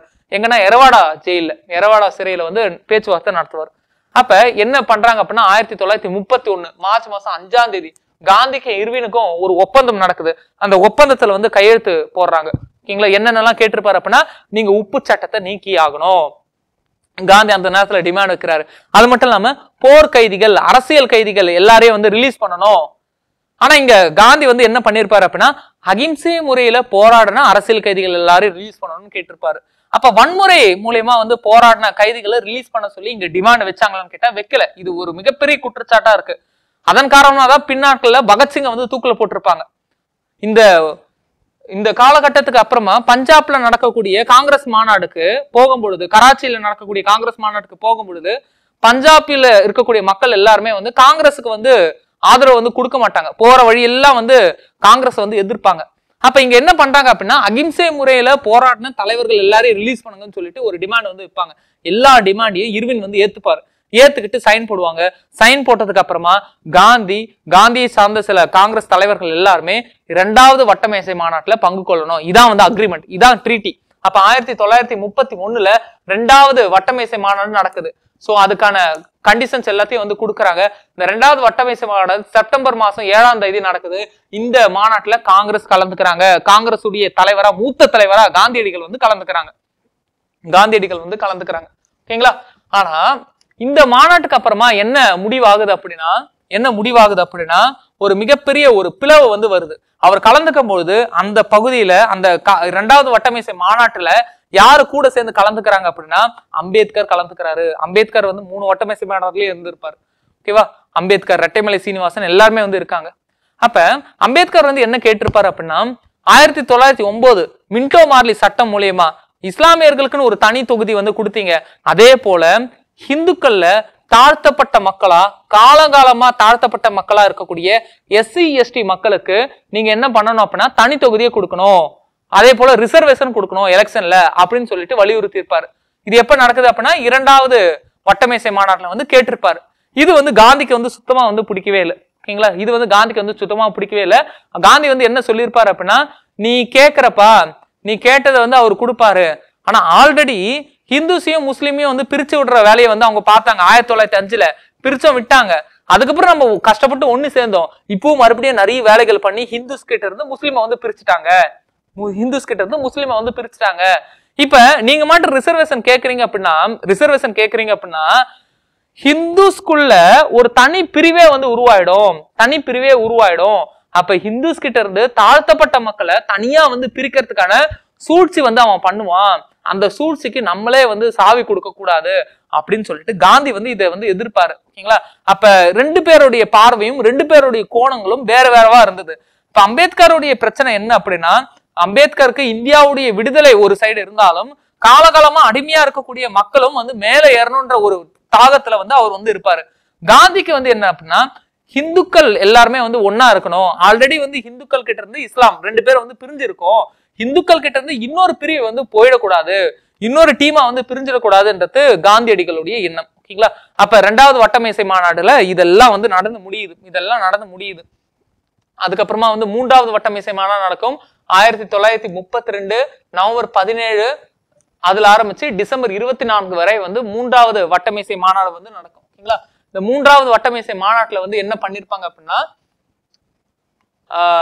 காந்தியடிகள் வந்து கலந்துக்க மாட்டார். காந்தியடிகள் வந்து கலந்துக்க மாட்டார். அதுக்கான ரீசன் வந்து என்ன சொல்லுவாங்க அப்படின்னா இவர் வந்து ரெண்டாவது வட்டமேசை மாநாட்டில் எஸ்சி எஸ்டி பீப்புளுக்கு ரிசர்வேஷன் வந்து கேட்கறத பார்த்தே ஒரு மாதிரி வந்து ஃபீல் பண்ணியிருப்பாரு இனிமேல் நான் அடுத்த வட்டமேசை மாநாட்டில் கலந்துக்கல. நான் மறுபடியும் போயிட்டு சட்ட மறுப்பு இயக்கத்தை வந்து நான் ஸ்டார்ட் பண்ணுறேன்னு சொல்லிட்டு போயிருப்பாரு. அவர் போகும்பொழுதே வந்து அரசு பண்ணி மறுபடியும் வந்து ஜெயிலில் போட்டிருப்பாங்க. அதனால மூன்றாவது வட்டமேசை மாநாட்டில் வந்து காந்தி வந்து கலந்துக்க முடியல. இப்போ பாருங்க யாரெல்லாம் வந்து தாழ்த்தப்பட்ட மக்களுடைய பிரதிநிதியா வந்து கலந்துக்கிட்டாங்கன்றத பாருங்க. Doctor B R Ambedkar M C Raja M C Raja அது மட்டும் இல்லாம ரெட்டைமலை சீனிவாசன் இவங்க எல்லாருமே வந்து தாழ்த்தப்பட்ட மக்களுக்காக வந்து கலந்துகிட்டாங்க. இதுல இன்னொரு விஷயம் பார்க்கணும். ஆயிரத்தி தொள்ளாயிரத்தி முப்பத்தி ரெண்டு செப்டம்பர் இருபதா நாள் செப்டம்பர் இருபதாம் நாள். இந்த நாள்ல வந்து காந்தியடி வந்து என்ன பண்றாரு அப்படின்னா ஒதுக்கப்பட்ட மக்களுக்குரிய தனித்தொகுதி ஒதுக்கீட்டு ஒதுக்கீட்டுக்கு எதிராக வந்து என்ன பண்றாரு? சாகும் வரை உண்ணாவிரதத்தை அறிவிக்கிறார். இத மாதிரி இவர் அறிவிக்கிறதுக்கு காரணம் என்ன தெரியுங்களா? ஆகஸ்ட் பதினாறு. அதாவது இவர் செப்டம்பர் மாசம் வந்து உண்ணாவிரதத்தை அறிவிக்கிறாருன்னா ஆகஸ்ட் பதினாறாம் நாள் ஆகஸ்ட் பதினாறாம் நாள் ராம்சே மெக்டனால்ட் என்ன பண்றாரு அப்படின்னா ரிசர்வேஷனை கொடுக்கறாரு. யார் யாருக்கெல்லாம் ரிசர்வேஷன் கொடுக்கறாருன்னு பாருங்க. சீக்கியர்கள் இஸ்லாமியர்கள் இந்திய கிறிஸ்துவர்கள் ஆங்கிலோ இந்தியர்கள் பெண்கள் மற்றும் ஒதுக்கப்பட்ட மக்களின் தலைவராகிய பி ஆர் அம்பேத்கருடைய கருத்துப்படி ஒதுக்கப்பட்ட மக்களுக்கும் ரிசர்வேஷனை கொடுக்கறாங்க. எப்ப அப்படின்னா ஆகஸ்ட் பதினாறு ஆயிரத்தி தொள்ளாயிரத்தி முப்பத்தி ரெண்டு ஆயிரத்தி தொள்ளாயிரத்தி முப்பத்தி ரெண்டு ஆகஸ்ட் பதினாறு வகுப்பு வாரி ஒதுக்கீட்டை ராம்சே மெக்டனால் வந்து கொடுக்கறாரு. அதை எதிர்த்து தான் செப்டம்பர் இருபதாம் நாள் காந்தியடி என்ன பண்ணுவார்? காந்தியடிகள் வந்து என்ன பண்ணுவாங்க அப்படின்னா தன்னுடைய உண்ணாவிரதத்தை வந்து ஸ்டார்ட் பண்றாங்க. உண்ணாவிரதத்தை ஸ்டார்ட் பண்றாங்க. சீக்கியர்கள் இஸ்லாமியர்கள் கிறிஸ்துவர்கள் அவங்களாம் வேற வேற மதம். ஆனா ஹிந்து மதத்துக்குள்ளேயே ஒரு ஒரு பிரிவை வந்து ரிசர்வேஷன் வாங்கும் பொழுது இந்து மதத்துக்குள்ளேயே பிளவு ஏற்படும் அப்படின்றது காந்தியுடைய வாதம் காந்தியுடைய வாதம். இந்த வாதம் ரெண்டு பேருக்குள்ள நிறைய வந்து மு- முத்தி முத்தி முத்தி மோடிக்கிட்டே போகுது. ஓகேங்களா? ஒரு கட்டத்துல வந்து காந்தி சாகர வரையும் உண்ணாவிரதம் இருக்கிறாங்க இல்லையா? அப்ப நிறைய பேர் வந்து என்ன பண்றாங்க அப்படின்னா அம்பேத்கருக்கு வந்து ப்ரெஷர் கொடுக்குறாங்க. போங்க நீங்க பேசினா காந்திஜி வந்து ஒத்துப்பாரு. உண்ணாவிரதத்தை வந்து கைவிடுவாரு அப்படின்னு சொல்றாங்க காந்தியடிகள் வந்து சிறையில இருக்கும்போதே வந்து உண்ணாவிரதத்தை வந்து ஸ்டார்ட் பண்ணியிருப்பாரு. எங்க அப்படின்னா இரவாடம். அப்ப அந்த சிறையில போய் அம்பேத்கர் வந்து பேசுவாரு. கடைசியில வந்து காந்தி என்ன சொல்லுவார் அப்படின்னா வெள்ளைக்காரன் யாரு நம்மளுக்கு ரிசர்வேஷன் கொடுக்க? காங்கிரஸ்ல இனிமே வெள்ளக்காரன் கொடுத்ததை விட அதிகப்படியான சீட்டை வந்து நான் ஒதுக்குறேன். அப்ப காங்கிரஸ்க்குள்ள ரிசர்வேஷனை நம்ம கொண்டு கொ- நான் கொண்டுட்டு வரேன். அப்ப காங்கிரஸ் இனிமே எந்த எலெக்ஷன்ல நின்னாலும் அந்த எலெக்ஷன் எல்லாத்துலயுமே கண்டிப்பா தாழ்த்தப்பட்ட மக்களுக்கும் சீட் இருக்கும் அப்படின்னு அம்பேத்கருக்கு காந்திஜி அவர்கள் வந்து உறுதி கொடுக்கிறாரு. ஒரே வார்த்தை தான். அவன் யாரு? நமக்கு ரிசர்வேஷன் கொடுக்க. அவன் ஆல்ரெடி முஸ்லீமையும் ஹிந்தியும் பிரிச்சு விட்டான். இப்ப ஹிந்துக்குள்ளேயே வந்து ரெண்டு பிரிவா பிரிக்க பாக்குறான். அதுக்கு நம்ம வந்து ஒத்து வரக்கூடாதுன்னு சொல்லிட்டு காந்தி வந்து ரொம்ப ஸ்ட்ராங்கா இருப்பாரு. உடனே நம்ம அம்பேத்கர் வந்து என்ன பண்ணிருப்பாரு அப்படின்னா சரி நீங்க சொல்றத நான் ஏத்துக்கிறேன். அந்த ரிசர்வேஷன் வேணாம் நான் சொல்லிடுறேன்னு சொல்லிட்டு ஒரு ட்ரீட்டி வந்து சைன் பண்றாங்க. அந்த ட்ரீட்டி தான் வந்து என்ன அப்படின்னா பூனா ஒப்பந்தம். பூனா ஒப்பந்தம். அப்ப பூனா ஒப்பந்தம் கையெழுத்திடப்பட்ட ஆண்டுன்னு கேட்டீங்கன்னா ஆயிரத்தி தொள்ளாயிரத்தி முப்பத்தி ரெண்டு இந்த ஒப்பந்தம் என்ன பேசுது அப்படின்னா ரிசர்வேஷனை வெள்ளக்காரங்கிட்ட இருந்து வாங்க வேண்டாம் நமக்குள்ளேயே வந்து பிரிச்சு எடுத்துப்போம் அப்படின்னு சொல்லிட்டு அதை பத்தி பேசுறது தான் இந்த பூனா ஒப்பந்தம். உங்களுக்கு புரிஞ்சிருக்கும்னு நான் நம்புறேன். ஆயிரத்தி தொள்ளாயிரத்தி பதினேழுல ஆரம்பிச்சு ஆயிரத்தி தொள்ளாயிரத்தி முப்பது வரையும் நடந்த சுவாரஸ்யமான நிகழ்வுகளை தான் நம்ம வந்து இப்ப பார்த்தோம். ஓகேங்களா? ஒரு முக்கியமான நிகழ்வுகளை தான் நம்ம பார்த்தோம். அப்படியே வேகமா சம்மரைஸ் பண்ணணும் அப்படின்னா ஆயிரத்தி எட்நூத்தி எண்பத்தி அஞ்சு காங்கிரஸ் உருவாச்சு. ஆயிரத்தி எட்நூத்தி எண்பத்தி அஞ்சுல இருந்து ஆயிரத்தி தொள்ளாயிரத்தி அஞ்சு வரையும் மாட்ரேட்டா தான் இருந்தாங்க. மாட்ரேட் குனிஞ்சி ஆஹ், கும்பிடு போடல அப்படின்னா தீவிரவாதிகள் வந்து நிமிந்து தலை நிமிந்து வந்து போராடி இருக்க முடியாது. தீவிரவாதிகளுடைய காலகட்டம் பாத்தீங்க அப்படின்னா ஆயிரத்தி தொள்ளாயிரத்தி அஞ்சுல வங்காளத்தை பிரிச்சவன தான் தீவிரவாதிகள் வந்து தலை தூக்குனாங்க. தீவிரவாதிகளுடைய ஒட்டுமொத்த தலைவரா யார் இருக்காங்கன்னா திலகர் தான் வந்து இருக்காரு. ஆயிரத்தி தொள்ளாயிரத்தி ஏழுல ஆயிரத்தி தொள்ளாயிரத்தி ஏழுல தீவிரவாதிகளும் மிதவாதிகளும் வந்து ரெண்டு டீமா வந்து பிரிகிறாங்க ஆயிரத்தி தொள்ளாயிரத்தி அஞ்சுலயே வங்காளத்தை பிரிச்சதுதான் இது அத்தனைக்குமே வந்து ரீசன் வங்காளத்துல இருக்கக்கூடிய ப்ராப்ளத்துக்காக தான் இவங்க ரெண்டு பேரும் தனித்தனி டீமா வந்து பிரிஞ்சிடுறாங்க. ஆயிரத்தி தொள்ளாயிரத்தி ஆறுலயே ஹிந்துக்கள் கிட்ட இருந்து இஸ்லாமை பிரிக்கணுன்றதுக்காக இந்திய தேசிய காங்கிரஸுக்கு அகேன்ஸ்டா இந்தியன் முஸ்லீம் லீகை வந்து ஃபார்ம் பண்ண வச்சாங்க ஆங்கிலேயர்கள். இந்தியன் முஸ்லீம் லீகை ஃபார்ம் பண்ண வச்சாங்க ஆங்கிலேயர்கள். ஆயிரத்தி தொள்ளாயிரத்தி பதினாறுல அத்தனை பேரையுமே ஒண்ணு சேர்த்தது யார் அப்படின்னா அன்னி பேசண்ட் அம்மையார். ஆயிரத்தி தொள்ளாயிரத்தி பதினாறுல அத்தனை பேரையும் ஒண்ணு சேர்த்தது யார் அப்படின்னா அன்னி பேசண்ட் அம்மையார்கள் தான் சோ அதுக்காக தான் அவங்கள வந்து தலைவரா வந்து அந்த வருஷம் வந்து போட்டோம். ஆயிரத்தி தொள்ளாயிரத்தி பதினஞ்சுல காந்தியடிகள் வந்து இந்தியாவுக்கு வராங்க. ஆயிரத்தி தொள்ளாயிரத்தி பதினஞ்சுல காந்தியடிகள் வராங்க. அவங்க வந்ததுக்கு அப்புறமா ஒரு மூன்று சத்தியாகிரக போராட்டம் வந்து நடந்திருக்கும். சாம்பிரான் கேதா இந்த போல பகுதிகள்லாம் வந்து சத்தியாகிரக போராட்டம் வந்து நடந்திருக்கும். அவர் மிகப்பெரிய தலைவரா உருவானதுக்கு காரணம் ஆயிரத்தி தொள்ளாயிரத்தி பத்தொன்பது தான். ஆயிரத்தி தொள்ளாயிரத்தி பத்தொன்பது தான். ஏன் அப்படின்னா ஆயிரத்தி தொள்ளாயிரத்தி பதினாறுல அன்னிபேசன்ட் அம்மையார் தன்னாட்சி இயக்கத்தை வந்து ஸ்டார்ட் பண்ணாங்க. அந்த தன்னாட்சி இயக்கத்துடைய இறுதியில ஆயிரத்தி தொள்ளாயிரத்தி பதினேழு ஆகஸ்ட் இருபதாம் தேதி ஆகஸ்ட் ஆஃபரை செம்ஸ்போர்டு வந்து கொடுத்திருப்பாரு. மாண்டேக செம்ஸ்போர்டு இவங்க இருக்காங்க இல்லையா? அதுல மாண்டேக செம்ஸ்போர்டு ரெண்டு ரெண்டு பேரும் சேர்ந்து வந்து என்ன பண்ணிருப்பாங்கன்னா ஆகஸ்ட் ஆஃபரை வந்து கொடுத்திருப்பாங்க. ஆகஸ்ட் ஆஃபருடைய இறுதியில வந்து என்ன பண்ணிருப்பாங்க அப்படின்னா நமக்கு தன்னாட்சி கிடைக்கும்னு இந்தியர்கள்லாம் நம்பிட்டு இருக்கிற அதே காலகட்டத்துல ஜாலியன் வலாபாக் படுகொலைக்கு காரணமா இருந்த ரவுலத் சட்டம் வருது. ஆயிரத்தி தொள்ளாயிரத்தி பத்தொன்பது ரவுலத் சட்டம் வருது. அதோடைய தொடர்ச்சியா ஜாலியன் வலாபாக் படுகொலை நடக்குது. ஆயிரத்தி தொள்ளாயிரத்தி பத்தொன்பதுல கிளாபத் இயக்கத்தை முஸ்லிம் சகோதரர்கள் வந்து முன்னெடுத்து நடத்துறாங்க. இதுக்கு காரணம் ஆயிரத்தி தொள்ளாயிரத்தி பதினாலு ஆரம்பிச்சு ஆயிரத்தி தொள்ளாயிரத்தி பதினெட்டு வரை நடக்கக்கூடிய முதல் உலக போர்ல இஸ்லாமியர்களுடைய தலைவரான கலிஃபாவை வந்து அவமானப்படுத்துறாங்க. அதனால இந்த கிலாபத் இயக்கத்தை வந்து என்ன பண்றாங்க அப்படின்னா இஸ்லாமிய சகோதரர்களையும் இந்துக்களையும் ஒண்ணு சேர்க்க காந்தி வந்து முயற்சி எடுக்கிறாரு. அதே மாதிரி ஆயிரத்தி தொள்ளாயிரத்தி பத்தொன்பதுல ஆயிரத்தி தொள்ளாயிரத்தி பத்தொன்பதுல மாண்டேகி செம்ஸ்போர்ட்டோடைய ரிஃபார்ம் வருது. அதன்படி மாகாணங்கள்ல இரட்டை ஆட்சி வருது. இந்த இரட்டை ஆட்சி நாங்க கேட்கல. நாங்க கேட்டது தன்னாட்சி.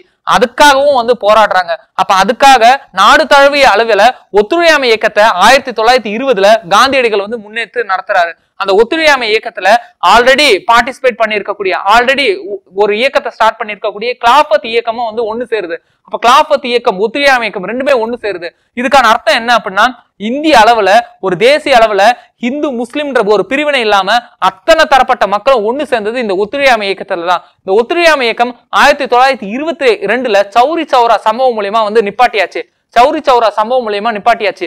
காந்தி அரெஸ்ட் பண்ணி உள்ள போட்டாச்சு. ஆயிரத்தி தொள்ளாயிரத்தி இருபத்தி மூணு சுயராஜ்ய கட்சி வந்து உருவாக்குனாங்க. இந்த சுயராஜ்ய கட்சி மூலியமா காந்தியடிகளை தொடர்ந்து வந்து வெளியே கொண்டுட்டு வர்றதுக்கு அதிகப்படியான பிரஷரை வந்து கொடுத்தாங்க. C R Das Motilal Nehru. C R Das Motilal Nehru. காந்தியடிகள் ஆயிரத்தி தொள்ளாயிரத்தி இருபத்தி நாலுல ரிலீஸ் ஆகுறாங்க. ஆயிரத்தி தொள்ளாயிரத்தி இருபத்தஞ்சுல இந்திய கம்யூனிஸ்ட் கட்சி வந்து ஃபார்ம் ஆகுது. இந்திய கம்யூனிஸ்ட் கட்சி ஃபார்ம் ஆகுது. ஆயிரத்தி தொள்ளாயிரத்தி இருபத்தி ஏழுல சைமன் கமிஷன் இந்தியாவுக்கு வந்து வர ட்ரை பண்றாங்க. ஆயிரத்தி தொள்ளாயிரத்தி இருபத்தி ஏழுல அறிவிக்கிறாங்க. ஆயிரத்தி தொள்ளாயிரத்தி இருபத்தி எட்டு பிப்ரவரி மூணு மும்பைல வந்து இறங்குறாங்க. சைமன் கமிஷன் எதுக்காகப்பா இந்தியாவுக்கு வராங்க? ஆயிரத்தி தொள்ளாயிரத்தி பத்தொன்பதுல இருந்து ஆயிரத்தி தொள்ளாயிரத்தி இருபத்தி ஒன்பது வரையும் பத்து வருஷம் மாண்டேகு செம்ஸ்போர்ட் ஆக்ட் வந்து இருக்கும்னு சொல்றாங்க இல்லையா? இந்த பத்து வருஷத்துக்கு பதிலா ஒரு ரெண்டு வருஷத்துக்கு முன்னாடியே இந்த சைமன் கமிஷன் வந்து இந்த மாண்டேகு செம்ஸ்போர்ட் ஆக்ட் மூலயமா என்னென்ன மாற்றங்கள் உருவாகி இருக்கு அதை ஆராய்ச்சி பண்ண வராங்க. அதுல ஒரு ஆள் கூட வந்து யாரும் இல்லை. இந்தியன் இல்லை ஒரு ஆள் கூட யார் இல்லை இந்தியன் இல்லை. அதுக்கு எதிராக வந்து go back Simon go back Simon சைமனே திரும்பி போ அப்படின்ற ஒரு போராட்டம். ஆயிரத்தி தொள்ளாயிரத்தி இருபத்தி எட்டுல பஞ்சாப் சிங்கம் லாலா லஜபதி ராய் இதனால வந்து இறந்தாரு. பஞ்சாப் சிங்கம் லாலா லஜபதி ராய் இதனால வந்து இறந்தாரு. இத மாதிரி போராட்டங்கள் வந்து தொடர்ந்து நடந்துட்டே இருக்கு. தொடர்ந்து நடந்துட்டே இருக்கு. அப்ப ஆயிரத்தி தொள்ளாயிரத்தி இருபத்தி எட்டுக்கு அப்புறமா என்ன நடக்குது அப்படின்னா ஆயிரத்தி தொள்ளாயிரத்தி இருபத்தி ஒன்பதுல நமக்கு பூர்ண சுயராஜ்யம் வேணும்னு சொல்லிட்டு மூவர்ண கொடியை ஜவஹர்லால் நேரு வந்து ஏத்திருப்பாரு மூவர்ண கொடியை ஜவஹர்லால் நேரு ஏத்திருப்பாரு இதுக்கு எல்லாத்துக்கும் காரணம் என்னன்னா ஆங்கிலேயர்கள் தான். உங்களுக்கு தேவையான நீங்க வந்து சுயராஜ்யம் வேணும் வேணும்னு கேக்குறீங்க இல்லையா? உங்களுக்கு தேவையான சட்டங்களை கூட உங்களால வந்து உருவாக்க முடியாது. அந்த திராணி கூட உங்களுக்கு இல்ல. அந்த திறமை கூட உங்களுக்கு இல்லைன்னு சொல்லி வன்மையா வந்து நம்மளை வந்து கிண்டல் பண்றாங்க. அதனை எதிர்த்து வந்து என்ன பண்ணிருப்பாங்க அப்படின்னா ஜவஹர்லால் நேரு நேருடைய அப்பா மோதிலால் நேரு என்ன பண்ணிருப்பாரு? ஒரு சட்டத்தை ஒரு மினி கான்ஸ்டியூஷனை வந்து உருவாக்கி இருப்பாரு அதுல ஒரு சின்ன பிழை இருக்கிற காரணமா அலிஜின்னா பதினான்கு அம்ச கோரிக்கையை வந்து கேட்டிருப்பாரு. பதினான்கு அம்ச கோரிக்கையை வந்து கேட்டிருப்பாரு. சோ இதோட இறுதியில சட்டமறுப்பு இயக்கத்தை வந்து ஸ்டார்ட் பண்றாங்க. உப்புக்கு வரி போடுறாங்க ஆங்கிலேயர்கள். உப்புக்கு வரி போடுறாங்க ஆங்கிலேயர்கள். அப்ப உப்புக்கு போட்ட வரியை எதிர்த்து உப்பு சத்தியாகிரகத்தை வந்து ஸ்டார்ட் பண்றாரு காந்தியடிகள். அப்ப இந்தியா முழுவதும் சத்தியாகிரகம் ஸ்டார்ட் ஆகுது. இந்த சத்தியாகிரகத்துல எல்லாரையும் வந்து அரெஸ்ட் பண்ணி உள்ள போட்டுறாங்க. எல்லாரையும் அரெஸ்ட் பண்ணி உள்ள போட்டுறாங்க. அந்த நேரத்துல பிரிட்டன் பிரிட்டன்ல பிரிட்டன்ல ராம்சே மிக்டனால் அவர் என்ன பண்றாரு அப்படின்னா சைமன் கமிஷனை வாங்கி ரீட் பண்றாரு. சைமன் கமிஷனே வந்து இந்தியர்களுக்கு சப்போர்ட் பண்ணி சில பாயிண்ட் வந்து கொடுக்குறாங்க. சோ அதனால அவர் என்ன பண்ணிருப்பாரு? இந்தியாவை சேர்ந்த அத்தனை தலைவர்களும் கூப்பிட்டு இருப்பாரு அத்தனை தலைவர்களும் கூப்பிட்டு இருப்பாரு முதல் வட்டமேசை மாநாடு ஆயிரத்தி தொள்ளாயிரத்தி முப்பது இல்ல காந்திஜியும் காங்கிரஸும் கலந்துக்கவே இல்ல. காந்திஜியும் காங்கிரஸும் கலந்துகிட்ட ஒரே வட்டமேசை மாநாடு ஆயிரத்தி தொள்ளாயிரத்தி முப்பத்தி ஒண்ணு இரண்டாவது வட்டமேசை மாநாடு தான் அப்ப முதல் வட்டமேசை மாநாடு இரண்டாவது வட்டமேசை மாநாடு மூன்றாவது வட்டமேசை மாநாடு மூன்று மாநாட்டிலையும் பார்ட்டிசிபேட் பண்ணவங்க யார் அப்படின்னா நம்முடைய அண்ணல் அம்பேத்கர் அவர்கள். அண்ணல் அம்பேத்கர் அவர்கள் அவர்களோட சேர்ந்து பார்ட்டிசிபேட் பண்ணது ரெட்டைமலை சீனிவாசன் ரெட்டைமலை சீனிவாசன் அவர்கள். ரெண்டாவது வட்டமேசை மாநாடுல அண்ணல் அம்பேத்கர் வந்து பேசியிருப்பாரு. காந்தியை பக்கத்துல வச்சுட்டே பேசியிருப்பாரு. ரிசர்வேஷன் வேணும். இஸ்லாமியர்களுக்கு ஆயிரத்தி தொள்ளாயிரத்தி ஒன்பதுல வந்து மின்டோ மார்லி ரிஃபார்ம் மூலியமா தனித்தொகுதி கொடுத்தது போல இங்க எஸ்சி எஸ்டி பீப்புளுக்கும் வந்து தனித்தொகுதி வேணும் ரிசர்வேஷன் வேணும்னு பேசியிருப்பாரு. அப்ப காந்தி வந்து என்ன பேசியிருப்பாரு அப்படின்னா ஆல்ரெடி இந்தியாவில் ஹிந்துஸையும் முஸ்லீமையும் பிரிச்சு விட்டு வே- வேடிக்கை பார்க்கறாங்க ஆங்கிலேயர்கள். இந்த நேரத்துல நம்ம இப்படி பேசணும் அப்படின்னா இந்துக்களுக்குள்ளே ஒரு பிரிவினை வரும். அவன் என்னையா ரிசர்வேஷன் கொடுக்கறது? நான் உனக்கு ரிசர்வேஷன் கொடுக்குறேன். காங்கிரஸ்ல ரிசர்வேஷன் இருக்குன்னு சொல்லிட்டு இவர் வந்து பேச ஸ்டார்ட் பண்ணிருப்பாரு. சோ இவர் வந்து தொடர்ந்து வந்து உண்ணாவிரதம் இருந்து இறந்துருவேன் அப்படின்னு சொல்லியிருப்பாரு. சோ இவருடைய உண்ணாவிரதத்தை தடுக்கக்கூடிய வகையில பூனா பேக்ட் வந்து சைன் போட்டிருப்பாங்க. அதாவது பூனா ஒப்பந்தம் வந்து சைன் போட்டிருப்பாங்க. அந்த பூனா ஒப்பந்தம் நம்மளுடைய காந்திக்கும் அண்ணல் அம்பேத்கருக்கும் இடையில வந்து நடந்திருக்கும். ஓகேங்களா? இவ்வளவுதான். சின்னதா கட் ஷார்ட் பண்ணி பாருங்க. ஓகேங்களா? சரி ஆயிரத்தி தொள்ளாயிரத்தி முப்பது முப்பத்தி ரெண்டு வரையும் நம்ம இப்ப பார்த்துட்டோம். ஓகேங்களா? முப்பதுல முப்பத்தி ரெண்டு வரையும் நம்ம பார்த்தாச்சு. வட்டமேசை மாநாடுடைய எண்டு வரையும் பார்த்துட்டோம். இதுக்கப்புறம் நடக்கக்கூடிய சுவாரஸ்யமான நிகழ்வுகளை அடுத்த கிளாஸ்ல நம்ம பார்க்கலாம்.